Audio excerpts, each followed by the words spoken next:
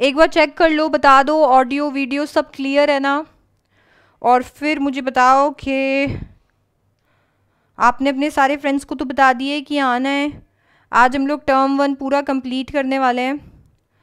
और हाँ मैंने एकदम ऐसे मस्त मैसेज कर दिया था, क्योंकि ये महाराज जी अपने अकॉर्डिंग चलने लगे थे। इन्होंने बोला प्लीज़ वेट तो इसके लिए फिर अभी मैम ने आपको तुरंत मैसेज कर दिया कि I think it will take ten minutes and बारह मिनट हो गए हमको। कोई बात नहीं।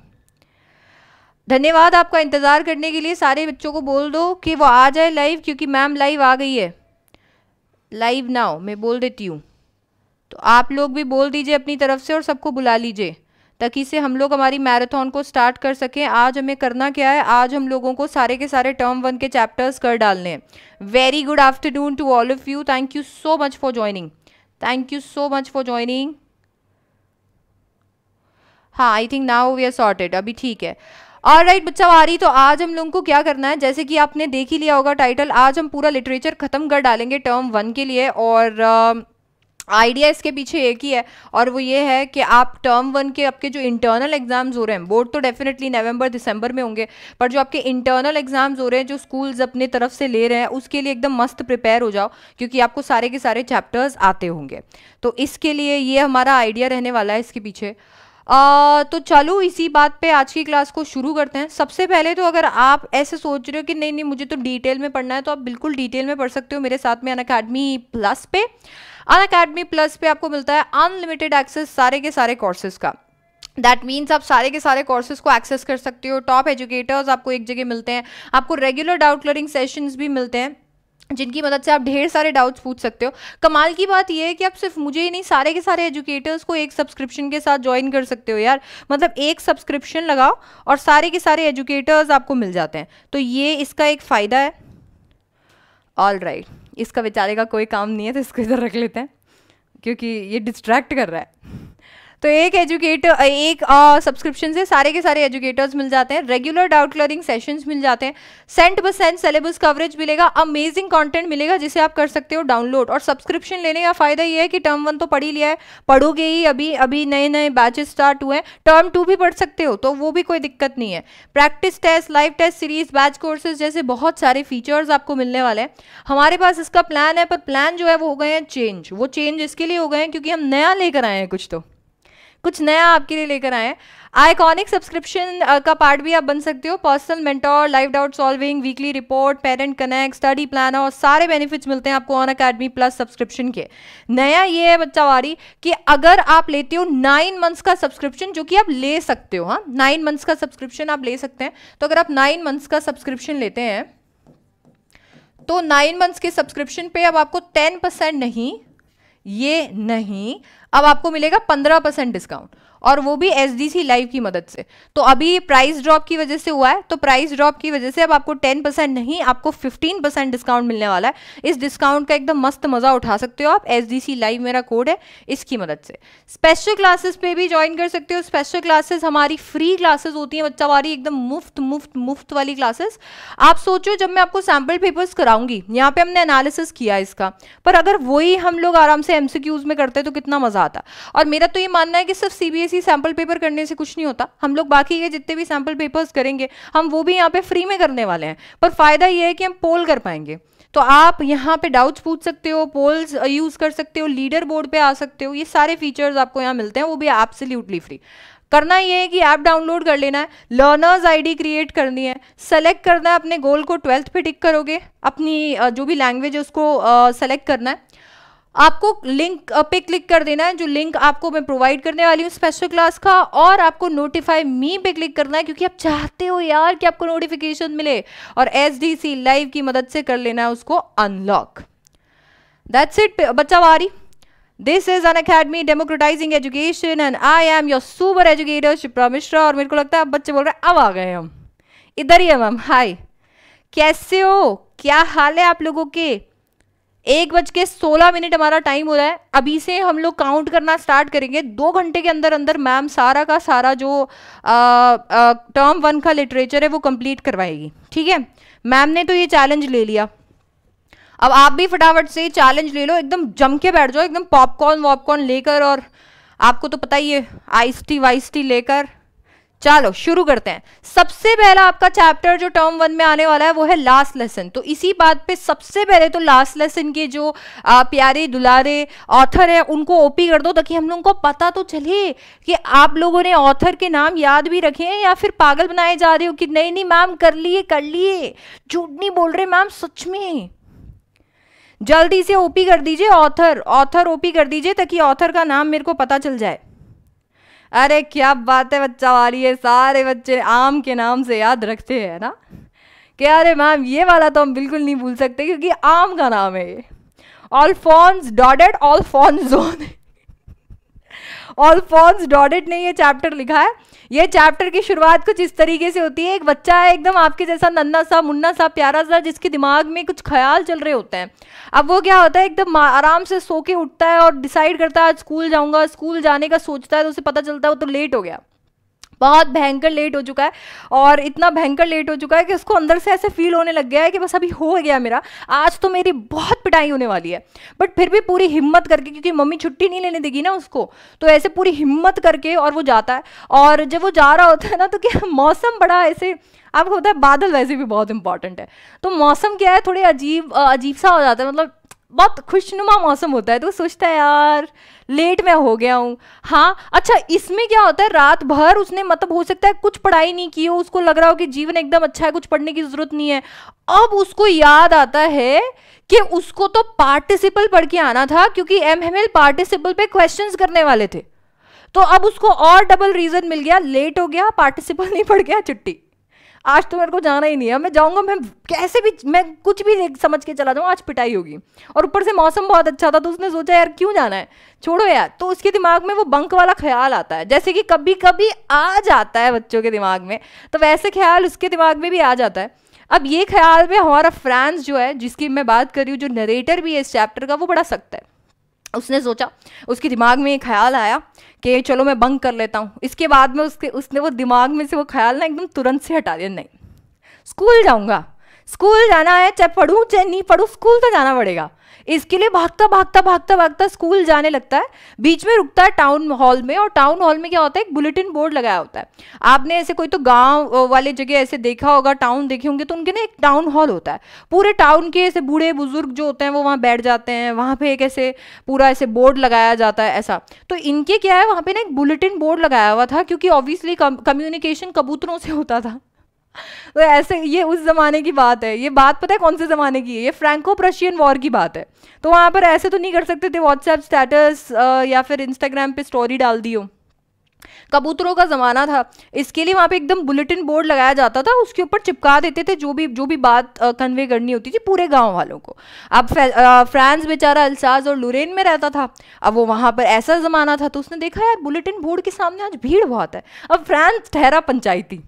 फ्रांस को बहुत पंचायती है। फ्रांस में यार, क्या बात है आज? आज क्या हो रहा है यहाँ पे? अब फ्रांस को याद आता है कि यार, ये बुलेटिन बोर्ड तो बहुत ही मनूस है। मतलब पिछले दो साल से जितनी भी बुरी खबरें आ रही है, कोई ऑर्डर आ रहा है, कोई ड्राफ्ट आ रहा है, सब इससे आ रहा है। ये तो बहुत ही ज़्यादा मनूस है। उसको ये फील होता है और उसको लगता है, आज भी ना कोई बुरी खबर ज़रूर यहाँ पे आई होगी। और वो ये सोच सोच के जा रहा होता है, रुक नहीं रहा फ्रांस, रुकना नहीं है।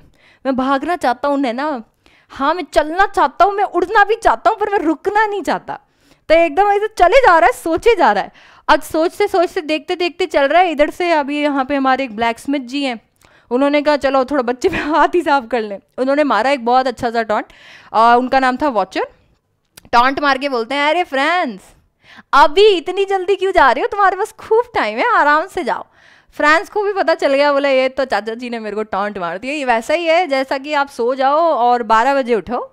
और फिर आपकी मम्मी बोले, अरे मेरे राजकुमार अभी बारह बजे क्यों उठे हो। अभी तो खाना बनने में तीन घंटे हैं। तो ऐसा करो, तुम तीन बजे उठना। एकदम वो वाला जो होगा ना चाहे कितने भी प्यार से हो, वो लग जाएगा तुम्हें। पता चल जाएगा कि आज तो ना एकदम खतरनाक टॉन्ट पड़ गया है। एकदम वैसे ही वॉचर भी करते हैं। उसको टॉन्ट मारते हैं कि अभी है टाइम आराम से जाना। और वो इस बारे में सोचते सोचते, हाफते हाफते स्कूल के गेट के बाहर पहुँचता है। अब उसने क्या होता है? एक भरोसा किया होता है, जैसे कि आप भी कर लेते हो कभी कभी मतलब ना, मैं तो ऐसे करती थी, कभी मैथ्स का होमवर्क नहीं किया होता था क्लास टेंथ की बात है। मैथ्स वैथ्स का होमवर्क नहीं किया होता था तो फिर उसके बाद में मैं ऐसे भरोसे कर लेती थी कि इंसान है। कुछ भी ऐसे सोच सकता है। तो मैं ऐसे सोच लेती थी कि ज़रूर ना मैथ्स के तो टीचर ही नहीं आएँगे आज। कोई दिक्कत नहीं है, आज तो मैथ्स के टीचर ही नहीं आएँगे, कोई दिक्कत, हो सकता है कि मेरे मैथ्स के टीचर ही ना आए। तो ऐसे ऐसे ऐसे कहीं ना कहीं उसने भी किसी चीज़ पे भरोसा किया था, और वो भरोसा किस चीज़ पे था? भरोसा था कि यार ज़रूर एकदम ऐसे बच्चे चहक रहे होंगे इधर उधर भाग रहे होंगे तो मैं क्या करूँगा? मैं उनमें से निकल कर चुपचाप बैठ जाऊँगा। और अगर मेरे टीचर, उनके टीचर थे एम हेमल तो अगर एम हेमल ने पूछा कि तुम कब आए थे, मैं बोलूँ, मैं तो इधर ही था। मैं तो इधर ही, आपने देखा नहीं होगा। हाँ मैं इधर ही था। ऐसा, जैसे हम कहते थे, जब कोई टीचर पूछता था कि होमवर्क करे हाँ मैंने कल बारह बजे तक होमवर्क किया, पर मैं कॉपी नहीं लाया। कॉपी घर पे छूट गई। आज तक ऐसे कोई टीचर ने अंदर हिम्मत नहीं आई कि टीचर ऐसे बोल दे। मैं तो चाहती हूँ एक बार टीचर ऐसे बोल दे कि चल ऐसा कर, तू घर जाके कॉपी लेके आ। तो ऐसा ऐसा ऐसा। तो अभी एकदम ऐसा ही बहाने का और ऐसे ख्वाब ही ऐसे पूरा सब कुछ सोच रखा था फ्रांस ने और उसके पूरे के पूरे ख्वाबों का बेड़ा गर्क हो गया। वो सामने गया मतलब स्कूल जिसमें इतना कमोशन हुआ करता था, जिस पर उसने इतना भरोसा किया, वो इतना शांत था। स्कूल एकदम शांत था, जैसे कि पता नहीं संडे को छुट्टी वाले दिन तो नहीं आ गया वो यहाँ पे। वो वॉक करे जा रहा था, उसको ना खुद की आवाज़ें आ रही थी। फिर वो जाके और अपने क्लास के बाहर पहुँचा तो क्लास के बाहर ऐसे खिड़की थी। अब क्या होता है, एक इंसान को ना अगर कुछ भी नहीं चल रहा होता तो एक चीज़ पे भरोसा होता है और वो ये होता है, कोई बात नहीं, मेरे दोस्त तो है ना। अगर पनिशमेंट मिलेगी, मुर्गा बनाया जाएगा तो सबको बनाया जाएगा। क्या शर्म की क्या बात है इसमें? वो खिड़की से देखता है, उसके सारे के सारे क्लासमेट अपनी जगह बैठे हैं और एम हेमल डंडा लेके घूम रहे हैं। फ्रेंड्स ने तो इमेजिन कर लिया था खुद को कि आज तो मैं पिटने वाला हूँ। आज मेरे को कोई नहीं बचा सकता और मैं अकेला पीटू पिटूँगा और ये सारी क्लास मेरा तमाशा देखने वाली है। ये चीज़ उसने पूरी इमेजिन कर ली थी और पूरे उसी उसी खौफ के साथ में वो क्लास के अंदर दरवाज़ा खोलता है और एंटर होता है। ये एक एक्चुअली बहुत शर्म की बात है। कभी कभी मेरे को लगता है आप लोग ने भी ये फील किया होगा। सबसे ज़्यादा शर्म तब आती है जब सारे लोग बैठे होते हैं। और आपको दरवाज़ा खोल के और वॉक करके जाना होता है। क्योंकि आपको ऐसा लग रहा होता है सब मेरे को देखेंगे। तो वो वो भी बेचारा ऐसे पूरा ऐसे दरवाज़ा वगैरह खोल के और एकदम ऐसे जा रहा था और सारे लोग उसको देख रहे थे। उसको कहीं ना कहीं उसको शर्म आ रही थी। इतने में एम हैवेल जिनके लिए वो इतना ज़्यादा चिंता में था आ, उसने सोचा बस पीछे से एक लाठी पड़ने वाली है। इतने में एम एम बड़े प्यार से बड़ी काइंडनेस से बोलते हैं प्यारे फ्रेंड्स तुम आज लेट हो गए हो। क्या हो गया बेटा? हाँ हम तो तुम्हारे बिना ही स्टार्ट कर रहे थे। जाओ, फटाफट जाके अपनी सीट पे बैठो। And then friends is like मैंने क्या किया यार? ऐसा कैसे हो गया? आपने मेरे को डांटा क्यों नहीं यार? मेरे को मारा क्यों नहीं? ऐसा कैसे कर रहे हो आप? इतने प्यार से कैसे बोल रहे हैं यार आज, एम एम इतना शौक में हो गया था, इतना शौक में कि यार ये एम एम एल आखिरकार इतने प्यार से कैसे बात कर रहे हैं? पर इससे ज़्यादा शॉकिंग उसके लिए ये था कि जो बैक बेंचेस पे कबूतर बैठा करते थे, उन बैक बेंचेस पे अभी विलेजर्स बैठे हैं। सारे लोग पोस्ट मास्टर मेयर सब लोग वहाँ पर बैठे हुए हैं। एंड ही वॉज़ लाइक ये क्यों बैठे हैं यार? ये क्या पढ़ने आए हैं आज? ये यहाँ क्यों बैठे हैं? वो इन सारी चीज़ों के बारे में सोच रहा था। इतने में एम हेमल ने बोला सो so, एक मेव सेक्रेटरी नहीं नहीं. एम एम एल ने बोला तो बच्चा पार्टी. सारे बच्चों को कि देखो बात ये है कि अभी हमारा ये आखिरी लेसन है। बर्लिन से ऑर्डर आया है कि अल्साज और लोरेन में के स्कूल्स में फ्रेंच नहीं पढ़ाया जाएगा सिर्फ़ जर्मन पढ़ाया जाएगा और तुम्हारा नया टीचर कल आने वाला है। जैसे ये सारी चीज़ें सुनी उसने और सुन लिया कि आज लास्ट फ्रेंच लेसन है मतलब फ्रांस तो ऐसे हो गया हे माँ माता जी ये क्या सुन लिया मैंने? ऐसा कैसे हो सकता है? मतलब जो फ्रेंच उसको वाहियात लगती थी जो ऐसा लगता था नहीं मेरे को मेरे को पढ़नी नहीं है ये वाली तो मेरे को तो पढ़ना ही नहीं है फ्रेंच कभी तो। जो बुक्स ऐसी लगती थी कि बोझ है ये वो एकदम से उसे प्यारी लगने लग गई थी। और फ्रेंच वॉज़ लाइक यार मैंने तो अभी पढ़ा भी नहीं था। अभी पढ़ा भी नहीं था। अभी तो मैंने अभी मैंने लिखना भी नहीं सीखा था। ये ऐसा क्यों कर रहे हैं मैं, मैं हाँ ये ऐसे कैसे हो सकता है? कितनी बुरी बात है। मतलब देख रहे हो तुम सीरियसनेस जो हमारे बच्चे में आई एकदम से। अब इसके बाद में वो इतनी सारी खतरनाक सीरियसनेस और इतने खतरनाक थाट के साथ में वो बेचारा सोचने लगता है, बोला, अरे यार, ये मेरी बुक्स ये बुक्स जो थी ना, वो एकदम अभी उसको बेस्ट फ्रेंड जैसी लग रही थी, जो कि साथ में होते तो बोझ लगते हैं। कि इनको ले जाओ यार। हाँ तो S D C eighteen S D C live के साथ में मेरा बेस्ट फ्रेंड फ्री है। इसको ले जाओ। तो अभी बेस्ट फ्रेंड के जैसा लग रहा था मतलब एकदम वो बुक्स ऐसी लग रही थी जैसे बोझ है। और जैसे ही जैसे ही उन्होंने बोला कि ये तो अभी आप आखिरी आज फ्रेंच लेसन पढ़ने वाले हो, एकदम से वो ऐसे लग रही थी, मेरी बुक्स है यार। आप कैसे लेकर जा सकते हो मेरी बुक्स को? मेरी बुक्स को मैं नहीं दूँगा। मतलब वो एकदम लॉस्ट फ्रेंड्स लग रही थी, जिनको आप जाने नहीं देना चाहते हो, पर आपको जाने देना पड़ेगा। एकदम वैसा उन्हें वो उस उन बुक्स के साथ में फीलिंग आ रहा था। वैसे बहुत बुरा एकदम दिल एकदम ऐसे टूट गया था उनका। वो ये सारी सारी चीज़ों के बारे में सोचने लगे। बोला यार मैंने तो अभी कुछ पढ़ा ही नहीं है और अभी एकदम से बिना पढ़े ही आप सोचो आ, आ, मेरे को तो फ्रेंच छोड़कर जाना पड़ेगा अब तो मेरे को जर्मन पढ़ना पड़ेगा। अब और जो टीचर उसे एम एम एल जो उसे बहुत ख़राब लगते थे एम एम एल उसे ऐसे लगते थे कि कितने खड़ूस है यार कितने खड़ूस है कितना मारते हैं मतलब ऐसा। जैसे वो लगते थे ना अब एकदम से प्यार प्यारे लगने लग गए थे मतलब कोई भी खड़ूस टीचर हो, अच्छे नहीं लगते हो, मान लो ऐसे लगते हो, बहुत पिटाई करते हैं। पर ना, जब वो ऐसे कहते हैं ना कि हम जा रहे हैं तो दिल ऐसे हो जाता है अब जा क्यों रहे हो यार? तुसी जा रहे हो, तुसी ना जाओ। ऐसे मत करो। एकदम वैसा उसके अंदर से फीलिंग आ रहा था, वो एम एम एल की पूरी क्रैंकीनेस को पूरा भूल गया था, वो भूल ही गया था कि एम एम एल कितने ज़्यादा एरोगेंट थे, कितना मारा करते थे एंड ऑल दैट अब ये सारी चीज़ें वो सोच रहा था। ये सारी चीज़ें के बारे में वो खो चुका था अपनी दुनिया में आ, लास्ट लेसन में भी। और इतने में एमएमएल ने उसका नाम पुकारा। एकदम ऐसा ही है जैसा आप लोग करते हो। हाँ क्लास के अंदर एकदम खो जाते हो और फिर अपने दोस्त से पूछते हैं पेज नंबर बता। एकदम वैसा ही बेचारे फ्रांस के साथ हो गया पर वो किसी से पूछ नहीं पा रहा था। तो अभी फ्रांस ने फ्रांस से पूछा गया कि तुम अभी पार्टिसिपल्स को रिसाइड करो और फ्रांस तो पढ़ के नहीं आया था। जैसे रिसाइड करे। तो इसके लिए वो बेचारा खड़ा हो गया। वो मतलब ना उसके अंदर वो था, वो चाहता था कि वो पार्टिसिपल्स को ना एकदम एकदम फ्लुएंटली एक फ्लो में एकदम मस्त तरीके से रिसाइड कर डाले मतलब मस्त एकदम रिसाइड कर डाले। वो ये सब चाह रहा था, उसके अंदर था वो चीज़ बट बट वो कर नहीं पाया। वो नहीं कर पाया, वो नहीं पढ़ के आया था, उसे बुरा लग रहा था, जैसे कि आपको लगेगा।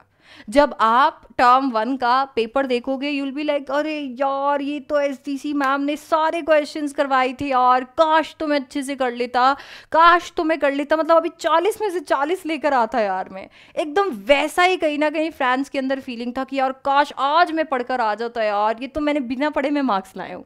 हाँ मम्मी, मैंने अच्छे मार्क्स लाए ना, ये तो मैं बिना पढ़े लाया सोचो मैं पढ़ के जाता तो क्या होता? ये इतना ही लाता बेटा।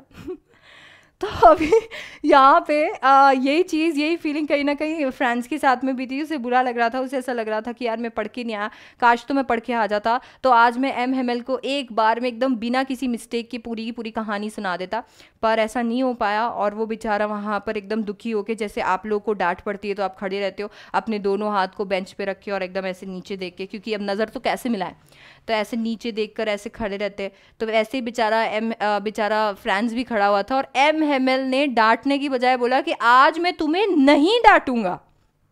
उस पर तो और दिल टूट जाता है कि आप ऐसा क्यों कर रहे हो यार? आप मेरे से प्यार नहीं करते। डांटो यार मेरे को। तो बोलते, आज मैं नहीं डांटूँगा, आज तुम्हें खुद ही बुरा लगना चाहिए। जब कोई भी ऐसा बोले, कोई टीचर ऐसा बोले, कोई पेरेंट ऐसा बोले, आप समझ जाना दुगनी डांट पड़ेगी आज आपको। तो अभी उसे आज मैं नहीं डांटूँगा, आज तुम्हें खुद ही बुरा लगना चाहिए और इतने में वो स्टार्ट हो गए। उन्होंने बोला, फ्रेंड्स, ये तुम्हारी गलती नहीं है। ये तुम सबकी गलती नहीं है, ये हम सबकी गलती है। मैं भी तो बुरा हूँ। मैं भी तो तुम्हें आज जब मुझे फिशिंग करने जाना होता था तो छुट्टी दे दिया करता था। या फिर वाटर में प्लांट वाले बच्चे या फिर मैं मेरे प्लांट को बोल देता था कि चलो जाओ जाकर पानी दे दो। मैं भी तो ये करता था और तुम्हारे पेरेंट्स कुछ एक्स्ट्रा कमाई के लिए तुम्हें फार्म्स में और मिल्स में काम करवाते थे, थे। उन्होंने भी तुम्हें स्कूल नहीं भेजा और ना कभी उन्होंने खुद ने सोचा स्कूल आने का। और तुम लोग तो हो ही ना लाया गया सो so, इसके लिए वो एक एक एक एक एक करके सबको बताने लगे कि ये सबकी गलती है। और उन्होंने बताया कि यही प्रॉब्लम है एहसास के साथ में। हम लर्निंग को कल तक टालते रहते हैं जो कि आप करोगे। कि इसको कल तक टालते हैं कल तक टालते हैं। और रिज़ल्ट क्या होता है? वो टल ही जाता है। तो इसके लिए बोला कि ये अल्साज की सबसे बड़ी प्रॉब्लम है कि वो कल तक कल तक टालते रहते हैं और देखो कल कहाँ आ गया। आज उन वो जो आ, लोग हैं वो बोलेंगे कि तुम अपने आप को क्या फ्रेंचमैन बोलते हो? तुम्हें फ्रेंच लिखनी नहीं आती बोलनी आ, बोलनी नहीं आती तुम क्या अपने आप को फ्रेंचमैन बोलते हो? और इसके साथ साथ उन्होंने बताया कि फ्रेंच इतनी ब्यूटिफुल लैंग्वेज है जो कि शायद कोई भी बोलेगा। आज आपकी जो लैंग्वेज है जो मेरी लैंग्वेज है हम सबको अपनी लैंग्वेज बहुत अच्छी लगती है। ये सिर्फ़ और सिर्फ़ लैंग्वेज का प्यार है जो कि वो दिखाते हैं। पर इस चैप्टर के अंदर ये लैंग्वेज का प्यार जो है वो शॉवनिज्म बन गया है। एम हेमेल का जो लैंग्वेज को लेकर पॉइंट ऑफ़ व्यू है, वो लैंग्वेज का प्यार है। जबकि बर्लिन से जो ऑर्डर आया है जर्मन पढ़ाने का, वो लिंग्विस्टिक शॉवनिज्म है। दैट मीन्स वो जर्मन को डोमिनेटिंग मांगते हैं। आप अपनी लैंग्वेज को प्यारा मानिए, आप अपनी लैंग्वेज से प्यार कीजिए, पर आपको कोई हक नहीं है किसी और की लैंग्वेज को कम बताने का। एंड ये इस चैप्टर के अंदर हुआ है।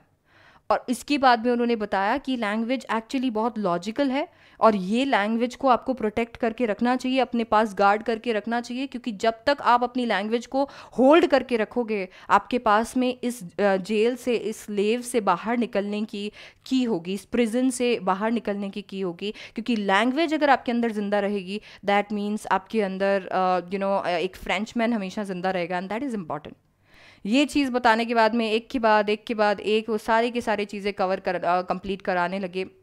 अब सब लोग आराम से लिख रहे थे तो सारे लोग वहाँ लिख रहे थे और बेचारे एम एम एल वहाँ पर बैठे थे। एक एक चीज़ को याद कर रहे थे, क्योंकि वो सारी की सारी चीज़ों से ना एम एम एल की यादें जुड़ी हुई थी यार।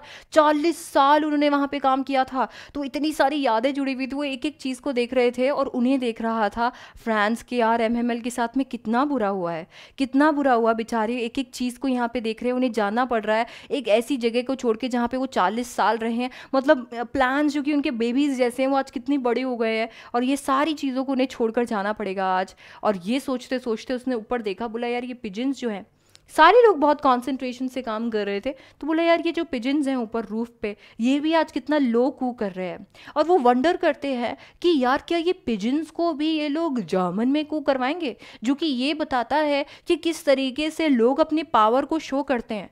आप एक इंसान से उसकी मदर टंग छीन रहे हो, वो एग्जैक्टली exactly वैसा है जैसे कि एक पिजन से आप अलग तरीके से कू करवा रहे हो। मदर टंग के साथ हम पैदा होते हैं, हमें हमारी मदर टंग आती है, हम नेचर से सीखते हैं। तो क्या जर्मन जर्मन को इम्पोज करना प्रशियन का डोमिनेंस बताता है, इतना डोमिनेंस बताता है कि पूरी सराउंडिंग चेंज हो जाएगी।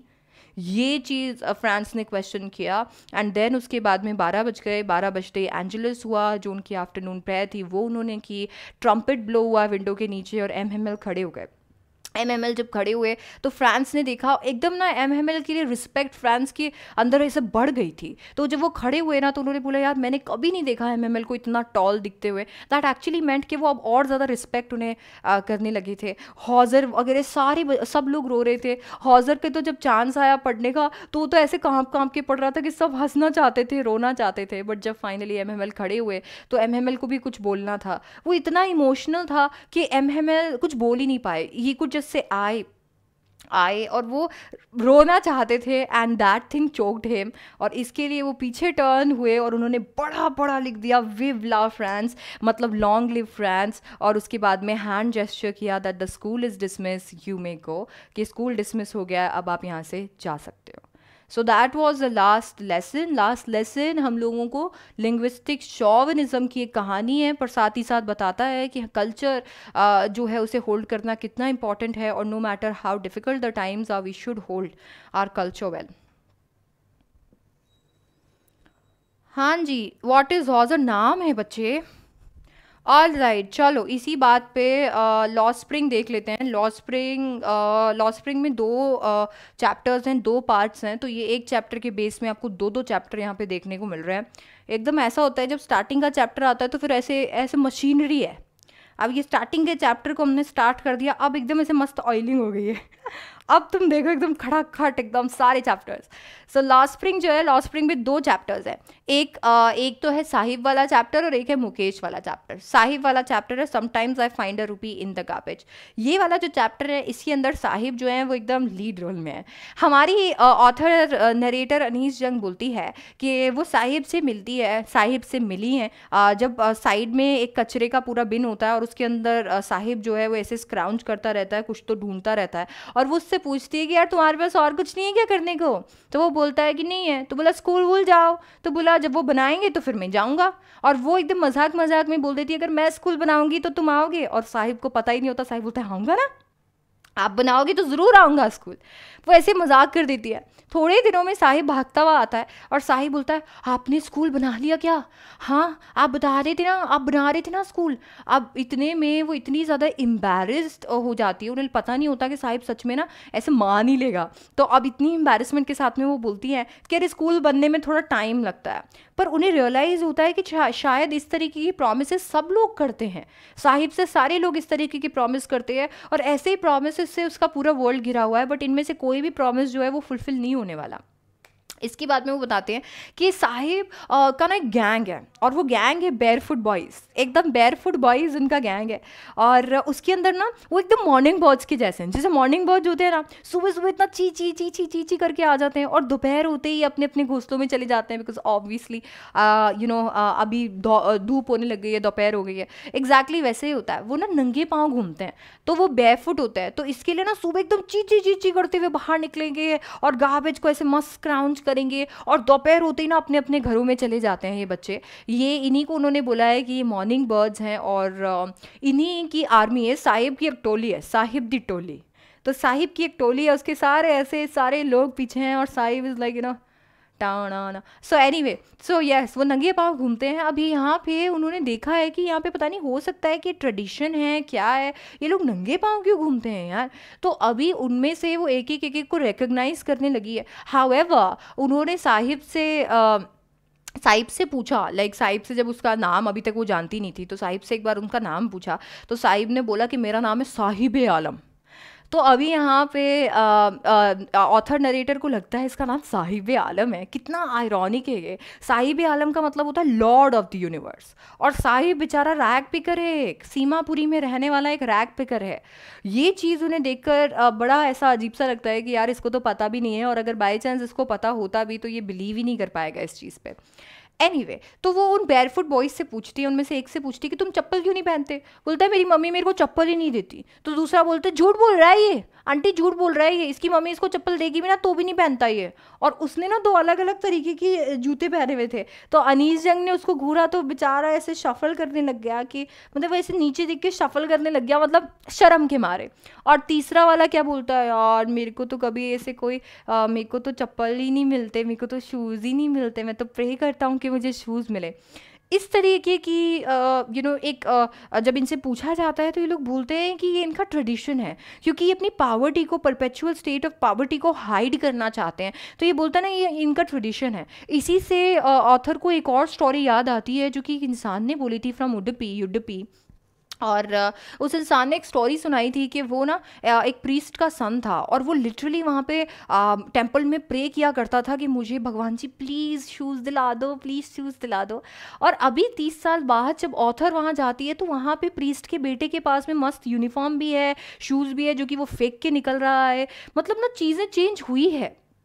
ये जो जो ट्रेडिशन के नाम पे लोग कह रहे हैं कि हम चप्पल नहीं पहनते हैं चीज़ें चेंज हुई है। इट इज़ एक्चुअली पावर्टी पुराने वाले प्रीस्ट के पास पैसे नहीं थे, इसलिए उसके बच्चे के पास चप्पल नहीं थी। नए वाले प्रीस्ट के पास में पैसे हैं। एंड दैट इज़ वाई उसने चप्पल पहन रखी है। और वहीं पे एक ऐसा इंसान भी है जो जिसको चप्पल मिली है, वो ऐसे प्रे कर रहा है कि, भगवान जी प्लीज़ काश मैं इन चप्पल को कभी भी ना खो ये बताता है कि एक्चुअली ये लोग ना हाइड कर रहे हैं अपनी पावर्टी को। ट्रेडिशन वगैरह कुछ नहीं है। ये हाइड इसके लिए कर रहे हैं क्योंकि एक ऐसी जगह रहते हैं, ये सिर्फ़ दो वक्त का गुजारा अपना करते हैं। साहिब और साहिब की जैसे सारी फैमिलीज़ जो है वो 1971 में आई थी। 1971 में आई थी और I try to control myself ये 1971 के अंदर इंडो पाकिस्तान वॉर था, जिसके अंदर बांग्लादेश बना और बांग्लादेश एक्चुअली ईस्ट पाकिस्तान था। उसकी वेस्ट पाकिस्तान से लड़ाई हो गई थी। इसके लिए ईस्ट पाकिस्तान को बांग्लादेश बनाया इंडिया इसके अंदर था। East Pakistan that is Bangladesh से 80 लाख लोग जो थे, वो इंडिया के अंदर आए थे। उन 80 लाख लोगों में कहीं ना कहीं साहिब की फैमिली भी थी। उन अस्सी लाख लोगों में साहिब की फैमिली भी थी और ये लोग यहाँ पर रहते थे दिल्ली में, सीमापुरी में। सीमापुरी एक्चुअली एक आउटस्कर्ट्स पे है दिल्ली के दिल्ली के बॉर्डर पे है। और सीमापुरी में ना इतने सारे रैक पिकर्स रहते हैं, हज़ारों रैक पिकर्स रहते हैं। वहाँ पे कंडीशंस बहुत ज़्यादा ख़राब है, आपको पता है? वहाँ पे ना बेसिक चीज़ें भी नहीं है। मतलब ड्रेनेज सिस्टम सीवेज सिस्टम कुछ नहीं है। मड के घर बना लेते हैं यू नो टिन की छतें बना लेते हैं। ट्रांजिट होम्स हैं, जहाँ खाना मिलता है, वहीं पर घूमते घूमते रहते हैं। इनके पास कोई आइडेंटिटी नहीं है बच्चा बाड़ी इनको कोई वीज़ा वीज़ा नहीं मिला, इनके पास कोई आइडेंटिटी नहीं है। ये तो सिर्फ़ राशन कार्ड के भरोसे रह रहे हैं, क्योंकि राशन कार्ड से इन्हें खाने के लिए ग्रेन मिल जाता है और जो नेता लोग होते हैं, उन्हें वोट्स मिल जाते हैं। तो ये राशन कार्ड से यहाँ रह रहे हैं। ऐसे ही अनीस जंग ने एक you know group of ladies से पूछा, बोला, आप बांग्लादेश में, आप ढाका से आए हो, वो तो इतना ग्रीन है, वो छोड़कर आप यहाँ क्यों आ गए हो? तो बोला कि उस ग्रीनरी का क्या करें, जहाँ पे खाना ही ना हो। इसके लिए हम लोग यहाँ पर आ गए हैं, कम से कम दो वक्त का खाना तो खा रहे हैं बच्चे बिना पेट यू नो ऐसे खाली पेट सो तो नहीं रहे हैं। ये चीज़ उन्होंने बताई जो कि ये बताता है कि एक्चुअली वो लोग रह रहे हैं और गवर्नमेंट उनके लिए कुछ कर नहीं रही है। और वो इस आस में आए थे ढाका से कि उनकी लाइफ बेटर होगी। हो सकता है कि ढाका से बेटर है। वन डे वो साहिब को देखती हैं। साहिब एक यू नो टेनिस कोर्ट के बाहर खड़ा होता है। एंड ही इज़ लाइक वो देखो, वो मेरा फेवरेट गेम है। और वहाँ पे अनीस जंग बोलती अच्छा? बोला हाँ। वो पता है ये मेरे को गार्ड ना अंदर भी जाने देता है। जब कोई नहीं होता ना तो मुझे अंदर जाने देता है। मेरे को स्लाइड भी यूज़ करने देता है। बोला अच्छा? अब यहाँ पे शूज़ शायद साहिब के रीच में थे क्योंकि उसने जो टेनिस शूज़ पहने हुए थे आ, जो शूज़ पहने हुए थे वो टेनिस शूज़ थे। बट वो जो गेम जिसकी वो यू नो जिसके बारे में वो सोच रहा है कि ये गेम शायद वो आउट ऑफ़ रीच है बिकॉज़ गेम्स लेजर एक्टिविटी है जो कि उसके हाथ में नहीं है। वो टेनिस शूज़ हो सकता है किसी तो रिच इंसान ने डिस्कार्ड कर दिए होंगे, क्योंकि हो सकता है एक आदमी छः दो फट गया हो। इसके लिए उसने पहन लिए, जो कि उसके पूरे डिस्कलर्ड कपड़ों के साथ मैच भी नहीं कर रहे। बट दिस इज़ समथिंग जो साहिब आप अपने लाइफ में कर नहीं पाएगा। इसके बाद में ही वो देखती हैं साहिब को कि साहिब अपने हाथ में कैनिस्टर लेकर और चल रहा होता है। अब जब अनीस जंग देखती है तो वो बोलती हैं कि क्या हुआ? तो बोला, अब मैं ना वहाँ काम करता हूँ। उस टी स्टॉल पे, वो टी स्टॉल है ना, मैं वहाँ पे काम करता हूँ। मुझे आठ सौ रुपये मिलते हैं। जिस साहिब को एक रुपये, दस रुपये मिला करते थे, वो साहिब को अब आठ सौ रुपये मिलने लगे हैं और दोनों वक्त का खाना मिल रहा है टी स्टॉल पे। Rack packing however Sahib को छोड़नी पड़ रही है। रैक पैकिंग सीमापुरी में एक अलग ही यू नो प्रोफेशन है। एक आर्ट बन गया है।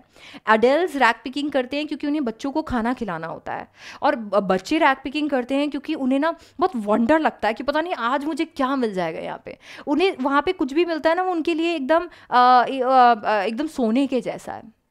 आज वो सारी चीज़ों को छोड़ के महीने के आठ सौ रुपये कमा रहा है साहिब, एक टी स्टॉल पे। और वो दोनों मील्स ले रहा है जो कि साहिब के लिए बहुत ज़्यादा है, बहुत ज़्यादा। वो तो दस रुपये पाँच रुपये ऐसे उसको मिलते थे। आज वो आठ सौ रुपये कमा रहा है, उसे तो खुश होना चाहिए। बट साहिब का केयर फ्री लुक जा चुका है। वो प्लास्टिक बैग साहिब का था। उसे जब काम करना होता था, करता था, कुछ भी मिल जाता था, खेलता रहता था, कूदता रहता था, ये बचपन था उसका। और ये एक्चुअली उसके लिए इंपॉर्टेंट है, ये चाइल्डहुड था उसका। और ये ये चाइल्डहुड में ऐसा ही होना चाहिए। पर यू नो पावर्टी की वजह से उसे काम करना पड़ रहा है, उसका चाइल्डहुड खो गया है। And that is why we have lost spring right तो चाइल्डहुड के साथ में उसकी शक्ल पे वो जो केयर फ्री लुक था वो जा चुका है। Saheb is no longer his master Saheb अपना मास्टर अब नहीं रहा है। दूसरी हमारी जो है स्टोरी वो आ, मुकेश की है और मुकेश एक मोटा मकानिक बनना चाहता है। मुकेश एक मोटा मकानिक बनना चाहता है। मुकेश फ़िरोज़ाबाद से बिलोंग करता है। फ़िरोज़ाबाद क्या है? फ़िरोज़ाबाद एक ऐसी जगह है जहाँ पे जो फ़ेमस है और जहाँ पे इंडिया की जो है जहाँ पे इंडिया की ग्लास ब्लोइंग इंडस्ट्री है। ग्लास ब्लोइंग इंडस्ट्री का मतलब होता है, वो इंडस्ट्री जो ग्लास के ऑब्जेक्ट्स को मोल्ड करती है। तो वहाँ पे ना एक्चुअली पूरे देश भर के बैंगल्स भी बनते हैं। तो आप देखोगे तो हर दूसरी फैमिली जो है, वो बैंगल मेकिंग में ही है। तो हर दूसरी फैमिली बैंगल मेकिंग करती है। और मुकेश की फैमिली भी उनमें से एक है, वो भी बैंगल मेकिंग करते हैं। बट uh, मुकेश का ड्रीम कुछ और है। मुकेश एक मोटा मकानिक बनना चाहता है उसे कुछ नहीं पता। यू नो कार्स के बारे में कुछ नहीं पता उसे कुछ नहीं आता पर फिर भी वो मोटा मकानिक बनना चाहता है। अनीस जंग जब उससे ये बात करती हैं तो वो वो वो कॉन्फिडेंस दिखाता है कि नहीं मैं सीख लूँगा। मैं कर लूँगा मैं सब कर लूँगा ऐसा। इतने में अभी अनीस जंग जब उससे बात करती है वो बोलता है आपको पता है मेरा घर ना अभी नया बना है आपको पता है मेरा घर अभी रेनोवेट हो रहा है आप चलोगे मेरे साथ? बोलता है हाँ अनी जो बोलती है, चलूँगी। अब वो फिरोज़ाबाद की किसी तो एक लेन में लेकर जाते हैं। मुकेश बहुत खुश होता है कि उसका घर रेनोवेट हो रहा है। जिस लेन के अंदर उसका घर होता है, वहाँ पर यू नो वो जाते और जाने के बाद में उनको लगता है, यार, कितना स्टिंक कर रहा है ये। क्योंकि वो एकदम अच्छे से कीप नहीं किया हुआ था। वहाँ पर जो लेन्स है ना, उनमें गार्बेज फंस जाता है तो उसकी बहुत स्मेल आती है। छोटे छोटे छोटे छोटे हटमेंट्स हैं और वो भी एकदम ऐसे जैसे, ऐसे दया का एक ऐसे लात पड़ेगा तो घर ही निकल लेगा। ऐसा। ऐसा हो हालत हो रही है। एनिमल्स और ह्यूमन बींग सब साथ में रहते हैं और ऐसे ही किसी घर के सामने जाकर रुकता है मुकेश और मुकेश एकदम स्वैग में एक लात मार के गेट खोलता है। एक ऐसा, ये देखो बेटा, ये मुकेश ने स्टंट किया, तुम घर पे मत कर लेना, क्योंकि तुम लात मार के गेट खोलोगे, उधर से एक और लात आएगी। और मम्मी एक लात मार के तुम्हें बाहर निकाल देगी और बोले, तमीज़ से आ। गेट अच्छे से खोल और फिर आ। एकदम ऐसा। पर मुकेश को कोई टेंशन नहीं है। मुकेश ने एक लात मारी और मस्त अपना दरवाज़ा खोल दिया और जैसे ही वो अंदर गई, अनीशा को देखती है कि आधा अधूरा घर था। हो सकता है रेनोवेशन की वजह से। वहाँ पर वो देखती है, एक कोने के अंदर उन्होंने किचन सेटअप किया हुआ है। बाकी उसी कोने में मतलब पूरा उसी में सब कुछ हो रखा है। वो किचन जहाँ उन्होंने सेटअप किया हुआ है, वहाँ पर एक लेडी बैठी हुई है। उन्होंने ऐसे आधा सा घूंघट किया हुआ है और वो वहाँ पे चूल्हे पे खाना बना रही है और पालक की सब्ज़ी बना रही है। अब मैं क्या करूँ यार, ये पालक की सब्ज़ी का क्या करूँ? मैं मैं मैं मैं बंद ही नहीं कर पाती। मैं जब भी ये वाला चैप्टर पढ़ाती हूँ, आठ साल हो गए हैं और मैं आपको बता नहीं सकती, मैंने तीन सौ चार सौ बार पूरा ये चैप्टर पढ़ाया है सच में। तो मैंने आठ साल के अंदर इतनी बार ये चैप्टर पढ़ाया होगा और जब भी मैं इस चैप्टर को पढ़ाती हूँ, एक ही चीज़ जो है, वो याद आती है और वो है जब से थ्री इडियट्स आई है थ्री इडियट्स जैसे कि ये पालक की सब्ज़ी आ जाती है, एकदम से राजू की मम्मी मेरी आँखों के सामने आ जाती है और राजू के पापा को वो मस्त बेलन से इच कर रही होती है। अरे भाई, ये जो है, ये ऐसा है कि इसके बाद में पालक की सब्ज़ी खाने का मन ही नहीं करता। पर एनी वे वहाँ पर ना बड़ा सा वेसल होता है, उस पर पालक ऐसे उबल रहे होते हैं, उनमें से आवाज़ आ रही होती है, नीचे बड़ा सा प्लेट होता है, उसके अंदर ना और कटी हुई वेजिटेबल्स पड़ी होती हैं, और वो सारी वेजिटेबल्स का डेफिनेटली खाना वो बनाने वाली हैं। और वो बेचारी चूल्हे पे खाना बनाती हैं, और यू नो क्योंकि वो चूल्हे पे खाना बना रही होती है, उसमें से स्मोक निकलता है। तो आँखों में ना पूरा उस धुएँ की वजह से आँसू आए आए होते हैं। बट अनीस चंग को देख कर ऐसे स्माइल करती है। वो ना, वो लगती है, बहुत यंग वुमन है डेफिनेटली बट इसके साथ साथ पे ना बहुत फ्रेल भी है। एकदम थेन पतली, दुबली, एकदम ऐसी लग रही थी जैसे ना, वो वीक है माल नरिश्ड है। तो वो उसको देखती हैं उनको लगता है, यार इज़ इट राइट क्या ये सही है कि एक ऐसे लेडी को एक इतनी यंग वुमन को इतनी बड़ी रिस्पॉन्सिबिलिटी देना वो पूरे घर की बहू बन चुकी है? वो पूरे घर का ध्यान रखती है, सब लोगों का ध्यान रखती है, मुकेश का, मुकेश के भाई का, मुकेश के पापा का, मुकेश की ग्रैंड मॉम का, वो सबका ध्यान रखती है। और वहाँ पे आप देखोगे तो मुकेश के जो पापा है, वो पहले टेलर के जैसे काम करते थे, अब वो एक बैंगल मेकर के जैसे काम कर रहे हैं, पर उन्होंने लाइफ में ना इससे ज़्यादा वो कुछ नहीं कर पाए। उन्होंने बोला, देखो, मैं बच्चों को स्कूल नहीं भेज पाया, वो घर को शायद रेनोवेट भी अच्छे से नहीं करवा पाए। वो जो कर पाए हैं, वो ये है कि वो आर्ट ऑफ़ बैंगल मेकिंग सिखा पाए हैं बच्चों को, और वो आर्ट ऑफ़ बैंगल मेकिंग से ही उनका पूरा घर चल रहा है। जब अनीश जंग उनके ग्रैंड मॉम से पूछती है कि, क्या है? तो वो बताते हैं कि ना, ये हमारी गॉड गिवन लीनियज है। हम बैंगल मेकर्स के परिवार में आ, पैदा हुए हैं तो हमें बैंगल मेकिंग ही करनी है। हम और कुछ कैसे कर सकते हैं? ये पुराने ख्याल है कि आप इस परिवार में पैदा हुए हो आप इस कास्ट में पैदा हुए हो तो आपको यही करना है। पहले ऐसा होता था। तो बोला कि ना हम लोग बैंगल मेकिंग कर, करेंगे क्योंकि हम बैंगल मेकर्स के परिवार से है। ये चीज़ें देख कर वो ये रियलाइज़ नहीं कर रही है कि मुकेश के ग्रैंड ये करते करते उनकी आँखें चली गई है। बट दिस इज़ समथिंग जो उनकी फैमिली करती रह रही है।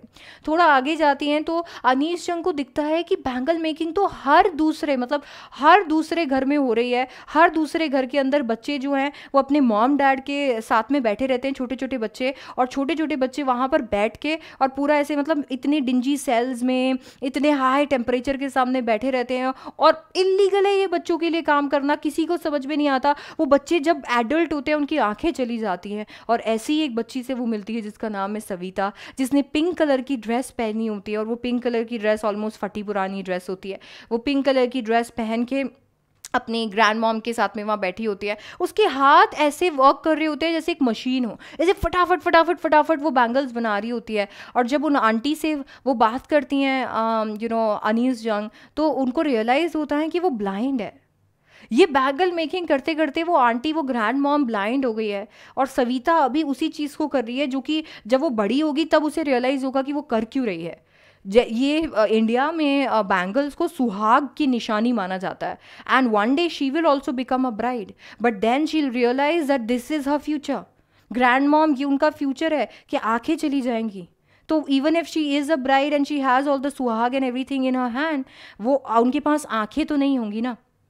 और वहाँ पे सविता की ग्रैंड मॉम के पास में एक ग्रैंड डैड होता है और वो अपने से मतलब मस्त ऐसी दाढ़ी से लेकर बोलते हैं कि देखो मैं और कुछ तो नहीं कर पाया, मैंने बच्चों के लिए एक घर बना दिया है। उनको देखकर ऐसा रियलाइज़ होता है कि शायद उन्होंने बहुत ज़्यादा अचीव कर लिया। बहुत सारे लोग तो शायद अपनी लाइफ टाइम में अपने लिए घर भी नहीं बना पाते होंगे। शायद बहुत कुछ अचीव कर लिया, पर शायद बहुत कुछ खो भी दिया। ऐसे अनीश जंग किसी से पूछती है कि यार तुम अपने आप को कोऑपरेटिव में कन्वर्ट क्यों नहीं कर लेते? तो वो बोलते हैं, अगर हमने ऐसा किया ना तो पुलिस साहूकार ये सब कुछ हमें अंदर कर देंगे इलीगल कह के पिटाई करके अंदर ऐसे जेल के अंदर कर देंगे, हम ऐसा कुछ नहीं कर सकते। फिरोज़ाबाद में कोई लीडर ही नहीं है, जो इन लोगों के खिलाफ आवाज़ उठाए। कोई लीडर ही नहीं है जो कि कह सके। कि हमारे साथ गलत हो रहा है, जो आगे चल के लीड कर सके और इन्हें कुछ नई रास्ता दिखा सके। ये लोग एक ही चीज़ को करे जा रहे करे जा रहे हैं जनरेशन पे जनरेशन उस चीज़ को करे जा रही है कि इन्होंने इनिशिएटिव ही खो दिया है। और इसकी वजह से आज ये लोग चाहे मतलब कितना भी यू नो कोशिश कर ले, ये इस पूरे विश्व साइकिल से बाहर नहीं निकल सकते क्योंकि मिडिल मैन पोलिटिशियंस ब्यूरोक्रेट्स इन्हें बहुत बेनिफिट हो रहा है इससे और ये लोग बेचारे इतनी मेहनत करने के बाद में, आँखें गंवाने के बाद में भी अच्छे पैसे नहीं कमा पा रहे। जब आ, ये हिम्मत उन्होंने मुकेश के अंदर देखी और मुकेश बोलता है नहीं मैं तो मोटा मकाने की बनूँगा। तो अनीस जंग खुश हो गई। अनीस जंग ने देखा कम से कम ये अपने सपने जी रहा है। और वो इतना श्योर है कि जब अनीस जंग ने उससे पूछा कि तुम प्लेन उड़ाना चाहते हो क्या? तो बोलता है नहीं मैं तो कार ही चलाऊँगा। मैं तो मोटर मकाने की बनूँगा। क्योंकि उसे पता ही नहीं है फिरोज़ाबाद के ऊपर से प्लेन जाती ही नहीं है।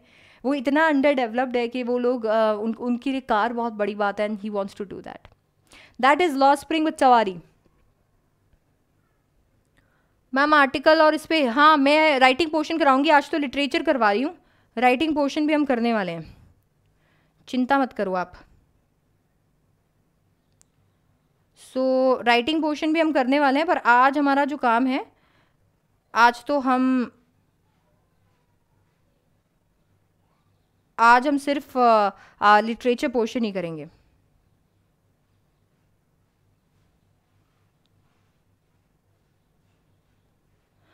और राइट बच्चा वारी।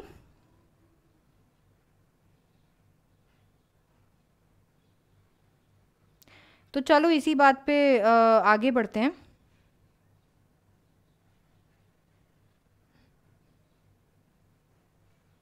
चलो, शुरू करते हैं।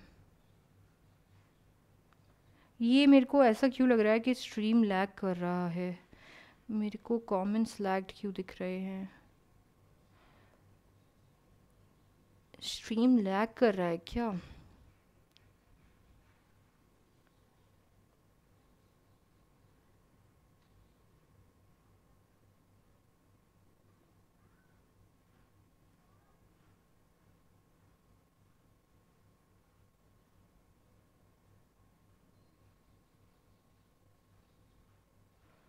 दिस इज़ समथिंग मेरे को लगता है कि या तो मैंने ही इसको अपडेट नहीं रिफ़्रेश नहीं कर रखा। क्योंकि कमेंट्स ऐसे तो कैसे लैग हो सकते हैं? वैसे तो नहीं दिख सकते ना, कि मेरे को ही नहीं दिख रहे हूँ।